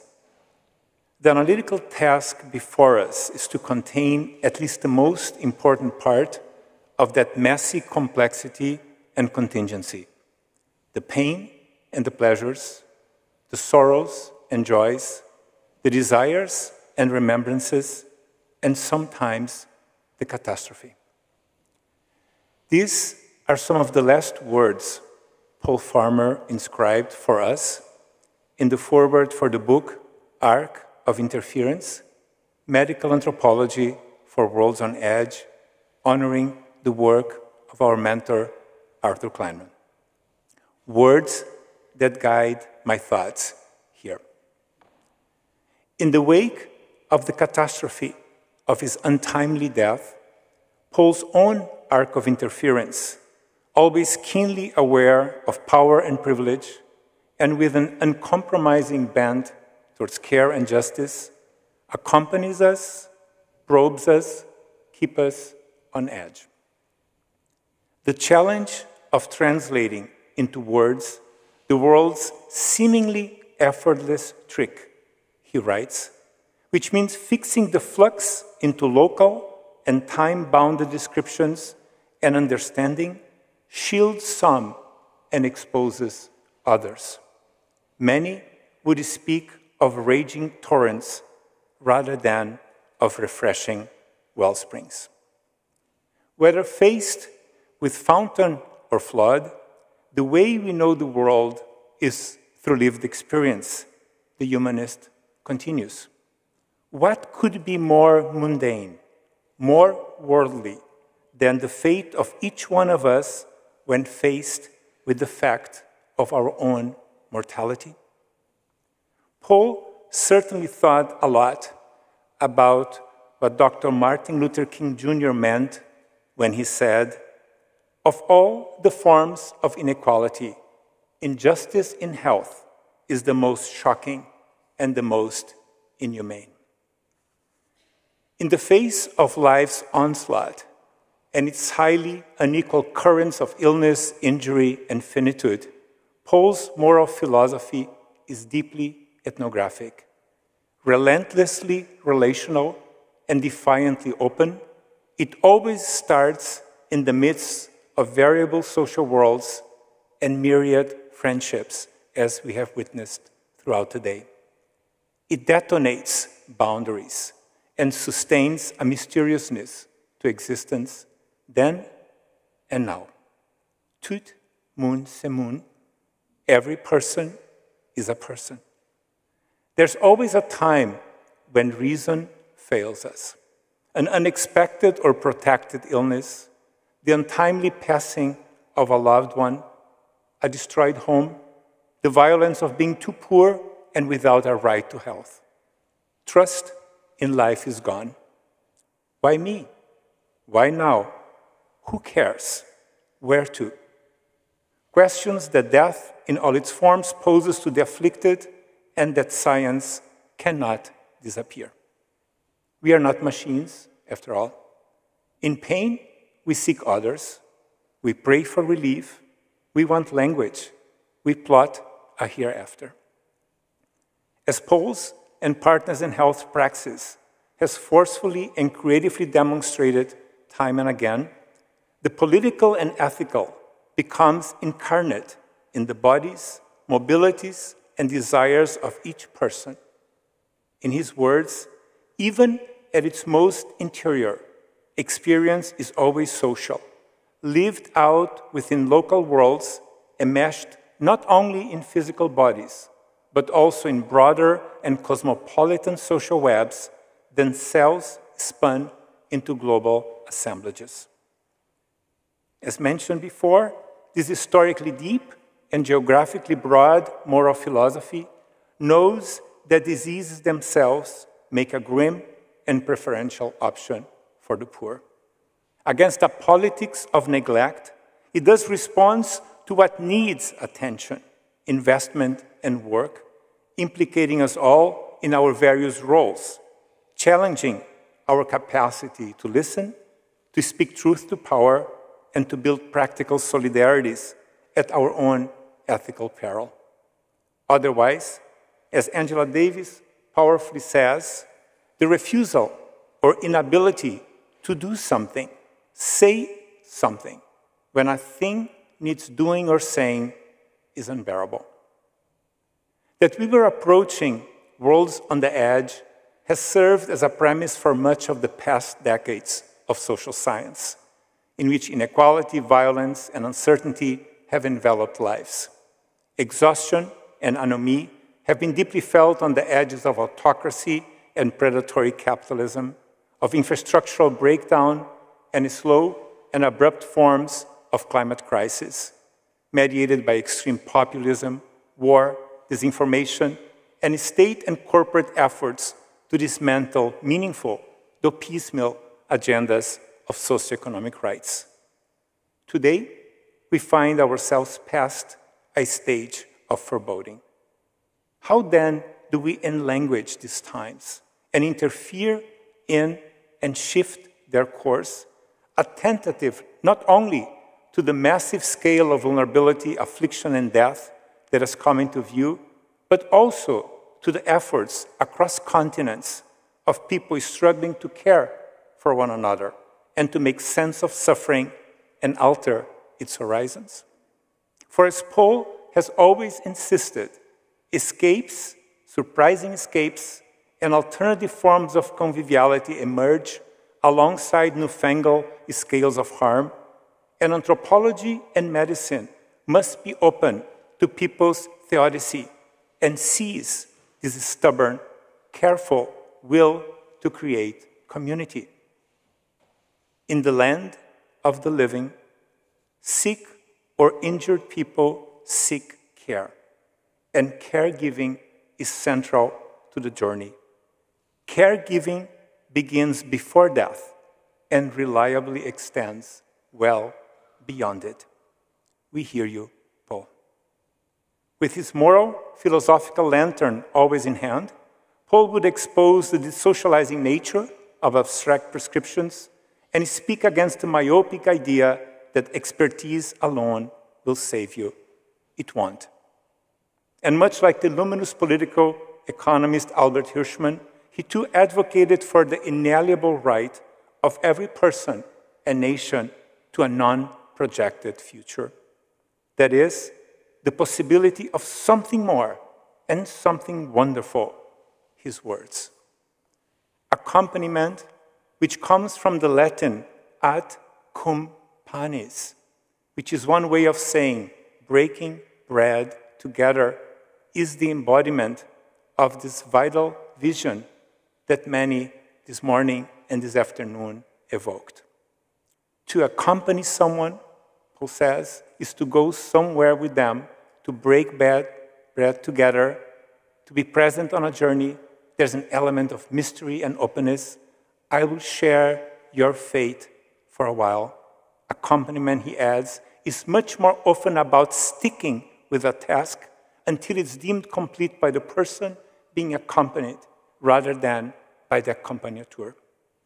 Accompanying people in central Haiti in the fight for water, wood, food, and medicines, the young Paul took practical spiritual and intellectual solace in the liberation theology of Father Gustavo Gutierrez to be with the poor on a journey away from scarcity, suffering, and premature and stupid death. There's also a deep material underpinning to the idea of accompaniment as people's sense of home spread beyond the immediate domicile. The lakou, a subaltern form of land management and housing common in rural Haiti and that resisted the return of the plantation, must have informed Paul's thinking here. In a lakou, a set of houses are linked by a yard with a ritual space where multi generational families work cooperatively and provide for each other and care for their dead. Accompagnateurs, the communal structures, and the multi generational values of Lakou that survived one displacement after the next are partners in health. In its elasticity and bold scaling up, this practice vision of presence with others and unconditional caregiving has profoundly challenged the inequities of hegemonic aid models, redefined the boundaries of feasibility, and has equally bent the arc of medical rationality and global healthcare delivery away from unreflected on quick fixes. Yes, disease is never just one thing. There is no one size fits all straight up technology delivery does not necessarily translate into patient care. Biology and technology interact in ways we cannot always predict. Health is biosocial through and through, and horizons are needed. The trick of the world, its secret and its truth, is that it is the fountain of all things. Paul's liberationist moral philosophy is set against extractivist economic models and breaks the grip of stagnant institutions on our imagination. It asks us to see others as creative agents of health, not just as problems or victims, and healthcare as a critical insurgency, forcing us to think against the grain together, attentive to the non teleological ways that sociomedical and political forces unfold in the field, and to care for the as yet unthought that keeps knowledge making and response open to extemporization in constant recalibration. In other words, it calls for conceptual and political projects anchored on dignity and equity that continue to beckon us to intellectual work, solidarity, and practical commitments to justice, enlarging the sense of what is possible, especially when, at first, appears to be out of view. In the face of suffering, regardless of its cause, there is nonetheless relief and comfort from family, friends, and even strangers. And this happens after death as well. Paul wrote so lovingly and presciently, urging us to activate our horizoning capacity, as Adriana Petryna would say. As seas rise, glaciers melt, and forests burn, who among us isn't called to peer toward the horizon? And who among us, ever so pushed, doesn't have to? These are Paul's living words. Like the direly needed seeds, the person, animal, spirit, plants in this artwork by the Amazonian indigenous artist Denilson Baniwa. For destruction is never absolute, and communities of desire persist in bringing healing to our riven earth. Thank you.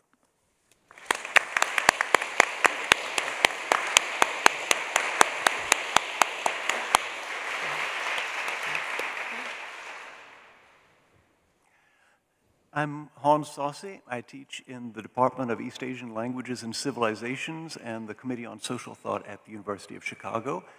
And my talk is called Paul Before Paul. It is incomprehensible the fact that someone can become something so quickly. I'll never forget the moment when what used to be my father arrived in an urn of fake marble.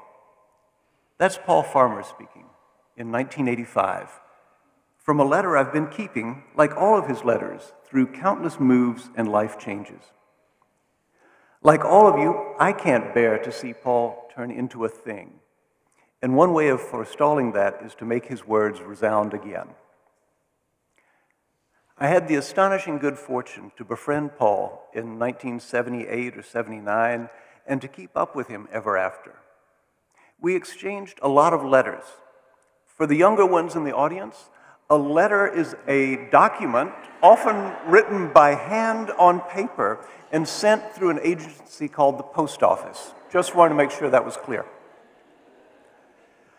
Whether we were in pres- whether in presence or by letter, we were in a constant laser tag stream of jokes, questions, gossip, reflections, and grandiose plans.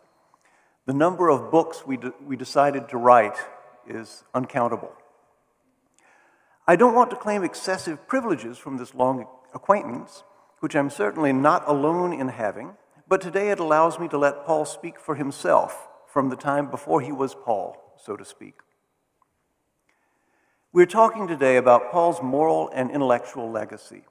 Paul as a world historical figure, as Arthur put it this morning. Yes, we must. I think Paul really came into his own when PIH demonstrated first that MDR-TB was infectious and could be cured, even in the poorest communities, and second, that HIV could be controlled, also in the poorest and least equipped communities, if only the necessary drugs were made available. These two victories, owed to many, but many who were inspired or led by Paul, solidified his position in global health and made his so called idealism look like practical common sense. But I want to take you back to a time when Paul was not yet Paul, so to speak, when nobody knew about him, and he had little but his own stubborn energy and commitment to go on. One of the characteristics that made him so endearing, and which many have mentioned today, was his ability to focus on the particular person in front of him not caring at all about whether that person was important or influential, since every person is important to him or herself, and he could adopt that perspective. One example 1983, and Paul was back home from, uh, in Brooksville after a stint in Haiti, recovering from malaria, as I learned later. But he found time to write me a succession of missives chronicling his erotic pursuit through the swamps of an elusive blue heron named Great Blue. A sort of comic allegory of one of our frequent topics of discussion, our ongoing late adolescent girlfriend problems. He wrote from Haiti uh, after a brief visit to Boston that he was relieved to be free of Jack Frost and his foliage hating henchmen. That must have been in October. A month or so later, from Boston, I am going to Haiti in 19 days. Bam nouvelles en où? For a site visit, as they say in development set jargon, and I wish it were for 19 years.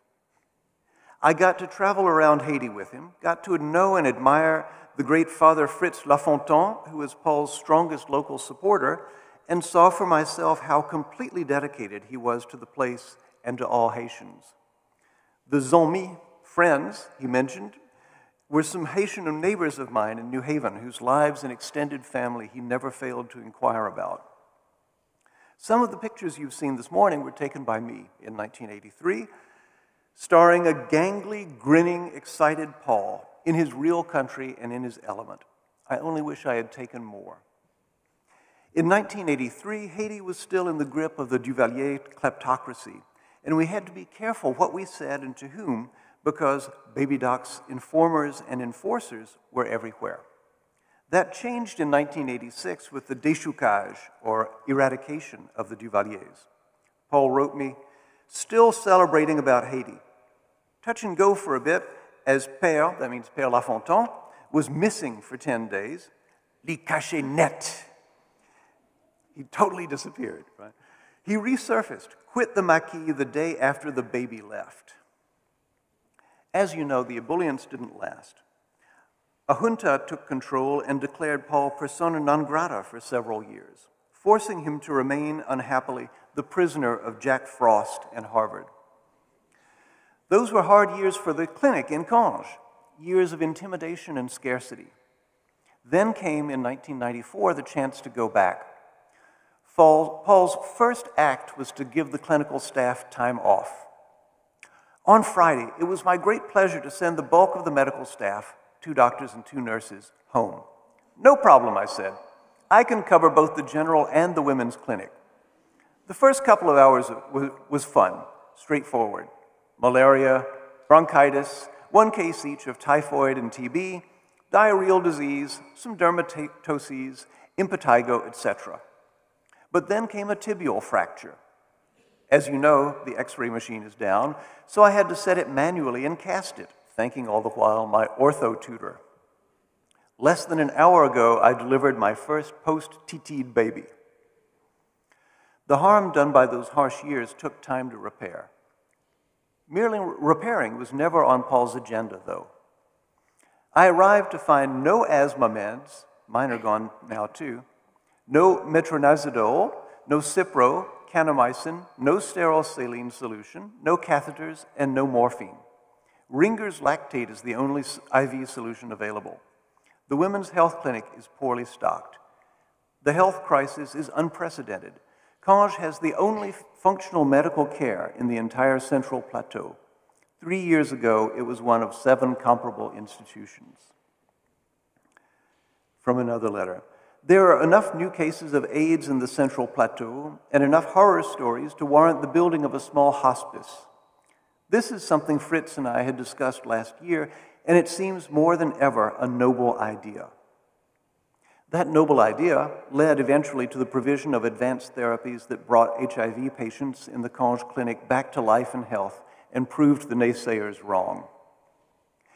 You know the story from then on. We are all grateful to Paul. Even if we were not his patients, he did cure us, many of us at least, of our depressions and hopelessness, of the feelings and thoughts of futility and resignation that disarmed us before the injustices he wouldn't accept. It seems to me that he knew from the start, from his gangly, giggly start, what he needed to do. I was fortunate to have him for 43 years as my reality check, my moral compass, the person I could count on to read my messy drafts, the friend I could tell anything to. Every one of you, I know, can say something similar. Paul sometimes reminded me of his namesake, the Apostle Paul.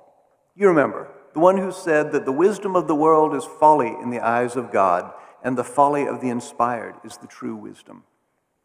Surely it took more than a grain of folly or wisdom to fail to understand why people in Haitian villages should not expect the same quality of health care that the well heeled denizens of Cambridge, Massachusetts expect. As Confucius said, I need two kinds of people crazy ones and careful ones. Crazy ones to forge ahead, careful ones to avoid making mistakes. 闭野狂倦乎？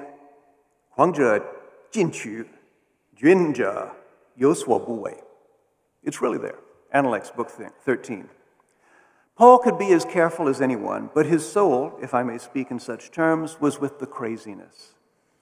He loved defying passive acquiescence.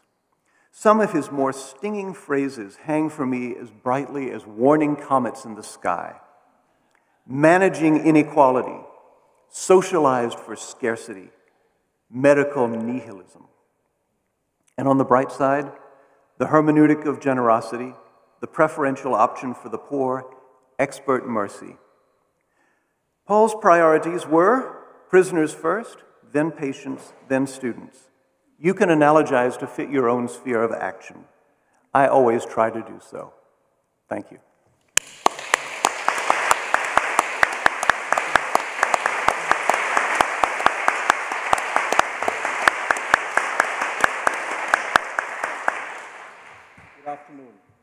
My name is Vikram Patel. Uh, I was uh, recruited by Paul to join the Department of Global Health and Social Medicine just over five years ago.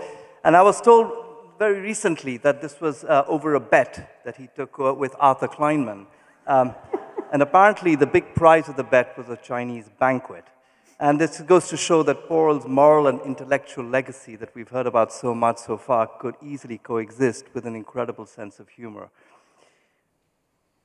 My life's work has been largely devoted to addressing, understanding, and addressing mental health disparities, particularly in the country that I come from, India. If the numbers of us who will one day experience one of the conditions classed under the broad rubric of mental illness are substantial, and a majority of all families are likely to be affected, then the truly staggering number is how few in need will receive much in the way of help from professionals trained to provide it. This was the opening sentence that Paul wrote in the foreword to the second edition of my book, Where There Is No Psychiatrist, a volume whose first edition I wrote more than 20 years ago to support frontline workers in low resource settings, to support the recovery journeys of those in their own communities who were struggling with mental health problems. Some years after I joined Harvard, Paul and I wrote in The Lancet in a piece that we were arguing for a moral case to understand how the world should address mental health problems. We will need to reframe the appalling fact that most people with severe mental disorders and disabilities die earlier than they should, simply because they do not have access to quality and person centered care as a moral outrage no less an insult to our basic humanity than the arguments that people with HIV in Africa could be left to die because their country's health systems were weak or the interventions unaffordable. I remember these, these, these sentiments very well, having lived and worked in Zimbabwe in the mid 1990s, watching patients with HIV die under my watch in the psychiatric ward simply because they did not have access to medication that was already saving lives here in the US. He wrote, To do so, global health delivery practitioners will need to adopt a rights based approach to healthcare. This approach demands that people with a lived experience must be at the center of decision making about which interventions should be prioritized. Intervention should cover both the clinical and social aspects of the conditions, and they must be delivered with the full participation of the person affected. This has been really the essence of my own journey, using the tools of clinical, social, and implementation science, and in more recent years, invoking digital technologies to reimagine mental health care, particularly in India, but also in parts of sub Saharan Africa. India is the country of my birth, when, where I've lived most of my life. And much of my work, as Paul did with PIH in various countries, uh, was done with a non governmental organization called Sangath. At the heart of my work was to address the critical shortage and maldistribution of mental health professionals, not by asking for more medical schools and mental health professionals to move to these communities because I knew they never would, but by leveraging the resources that communities already had in their midst. Mostly, these were individuals who lived in those communities, who spoke the same language, who shared the same social world, and who had no intention of migrating anywhere else. In doing so, I was really building upon the very rich experiences of iconic figures in India and in Africa who had transformed healthcare from the ground up. Some of this work was documented in an amazing book that was a, was, a, was a huge inspiration for me People's Health in People's Hands. But unknown to me, at the same time as I was beginning to actually work in this particular area, Paul Farmer and his organization, Partners in Health, were doing very similar work in other parts of the world, particularly focusing, of course, as we've heard earlier today, uh, on improving access to care for people with HIV and TB. When I did discover this, I was captivated by Paul's description of the role of the community health worker as accompanying a person on their journey to recovery. And I realized that much of what we do in the mental health space completely parallels this notion of accompaniment. Today, the very large and compelling body of implementation science that demonstrates the effectiveness of how people in the community, using resources in their own communities, can actually support the recovery of people with mental health problems, has laid the foundation of a transformed vision of mental health care. And I think what Paul implied is that in doing so, we flip the narrative that we hear so often of communities being under resourced Typically, that means they're under resourced because they do not have enough hospitals and specialists. We flip that narrative by actually stating that every community has resources, people who care for one another, and it is our job to help those communities leverage and empower those resources. But it would be a mistake to consider accompaniment, as some people do, as a stopgap arrangement, as a band aid to tide communities over until we have enough hospitals and specialists. Because I believe, and I have seen through my own work, that when you receive care from someone who you identify with, who speaks your language, who you know you're going to see tomorrow, who shares the same social world, who sees you in your own home, who often integrates your mental health needs with your physical health needs and your other social health care needs, it invokes a very powerful current of social connectedness, which I think is almost impossible to replicate in the ivory towers of modern medicine. Moreover, this kind of care is much less likely to engender the kind of fear and shame that not so infrequently accompanies consultation with mental health professionals in big hospitals. And it empowers entire communities to take control of and address their own health needs. The essence, of course, of that book I mentioned earlier, People's Health in People's Hands. In conclusion, Paul wrote, uh, again in the foreword uh, to, to my book, it is also true that some experiences in such settings, much of my work had been really coming from uh, South Asia and, and sub Saharan Africa, but he wrote that much of what I wrote might plausibly inform the transformation of America's healthcare system. I have arrived in this country about six years ago, and I have been astonished to see so much need, unmet need, in a country that has so much. In some ways, it seems morally even more unacceptable than compared to the unmet needs that I witness in India and Africa. Indeed, the US spends more on mental health care than on virtually any other health condition and enjoys more mental health resources per capita than any other country in the world. And yet, I think anyone who lives in this country will witness that we are watching a profound decline in all our mental health indicators, virtually every single metric. It's clear that money alone will not solve the problem. Global mental health, then, is a discipline that is quintessentially global, just as relevant in our own communities, in our own backyards in this country, as it is in the distant lands that often we practice global health in. As Paul wrote in his last sentence, it is a job of all of us to fight for the dignity of the afflicted. For me, that is the essence of accompaniment. Thank you. Thank you.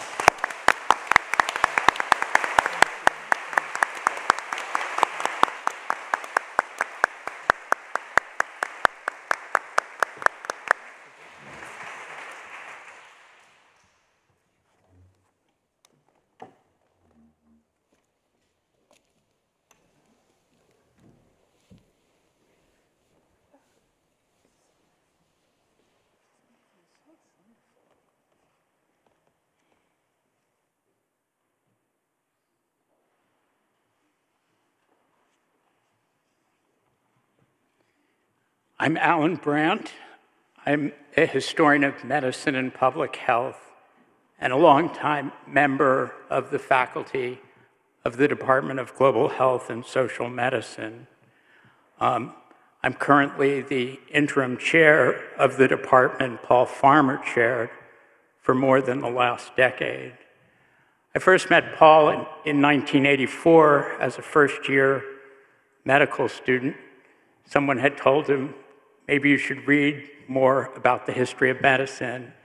And as became clear today, Paul was just the most voracious reader one could imagine. He came to see me in my office, and we started a program of reading. And within weeks, certainly within a month or two, he was so far ahead of me. And when we think about flipping the narrative, Paul went so quickly from thinking of me as his teacher to my thinking of Paul as my teacher and mentor. And though Paul was young and a medical student and doing a thousand things and spending most of his weeks in Haiti, Paul became my mentor and my teacher, as he was for so many of us gathered here today in this room and many, many online. I learned so much from Paul. And like I think so many that he touched, um, he had a gigantic impact on me, both in terms of my career, but also personally. It's been a remarkable day here of remembrance and reflection about our beloved friend Paul.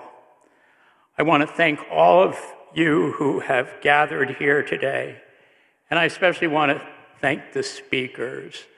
I've been to many memorial events filled with sadness and reflection, but quite frankly, I've never heard a series of talks and a series of reflections that have been so deeply moving and meaningful. And I know that's true for so many of you here. I want to thank Salmaan Keshavjee and Marty Zeve for conceiving and planning this afternoon symposium, which only enriched the beautiful and moving talks given this morning.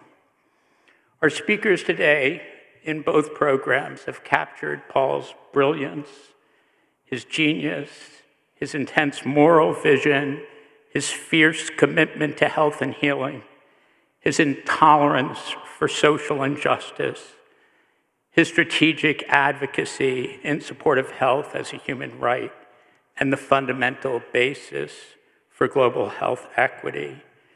Paul was so remarkable in so many ways, and that's one of the things that I think we understand today, as so many people have pointed out.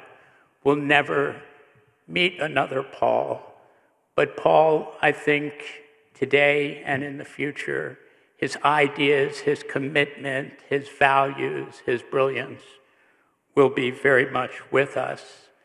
I realize today that Paul was so gentle and kind, but at the same time, so absolutely fiercely committed to justice and equity.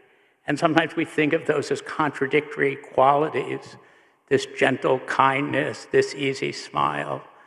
But at the same time, Paul was steely in his determination to make a better world. He was a humble person, always sensitive to the needs of others. As many have explained, Paul's vision began with the interaction at the bedside with a patient in need of skill, treatment, and caring. Paul was a brilliant diagnostician in so many ways and a deeply caring physician. His analytic framework emerged from this encounter with an individual, a person in need. What accounted for their symptoms? How did they reflect the interactions of the biological and the social? How did the patient's suffering and illness reflect a deep social history of inequity, exploitation, and extraction? To heal the patient, he understood, would require the insights of social medicine if we were to fundamentally change the world that produces inequity and illness. Paul loved universities and he knew how to leverage Harvard's identity and resources. He was absolutely committed to the idea that research, learning, and teaching must be a critical component of fundamental social change. In Paul's thinking, universities constituted an essential element in understanding and building a truly just and decent society. But his view was never uncritical. He understood that universities would never succeed as ivory towers. It was only in their engagement with the world's most difficult and important problems that they would ever have the kind of impact that they must. Students flocked, as many have observed, to these ideas and found motivation and inspiration in his teaching and in his transformative vision. Paul made us all better. He found value in our own work that we had often overlooked. This was certainly true for me. He had a way of always making the whole greater than the sum of its parts. For this reason, collaboration and deep and enduring partnerships were central to his vision.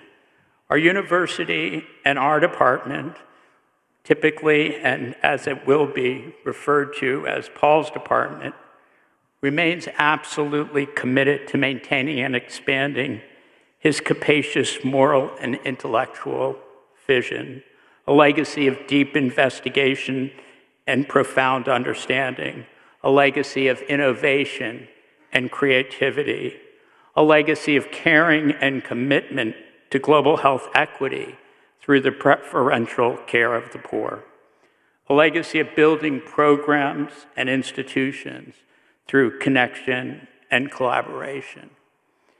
Paul knew that only through these relationships could we instigate genuine change to repair the world. Paul drew us and thousands of others to his cause, he believed we could all contribute to this movement through our research, through deeply committed teaching and mentorship, through caring and service, through a commitment to enduring and dedicated accompaniment. He taught us that we must be there for one another. Today, here at Harvard, and with the remarkable institutions that Paul built Partners in Health, the University of Global Health Equity, the Division of Global Health Equity at Brigham and Women's Hospital we all come here to rededicate ourselves to this mission. As difficult as it has been for so many of us to imagine the world without Paul, his teaching and his brilliant vision and example will continue to inspire us and motivate us in our efforts as it has in the past and it will in the future. This then is a time for us to honor Paul's memory by the work we do tomorrow, in the days and years and decades ahead.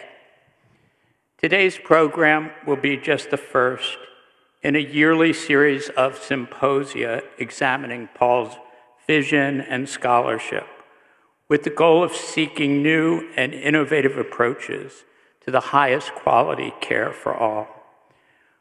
We look forward to working with you to boldly advance this agenda, which must reflect the best application of what we discover and what we know and what we learn.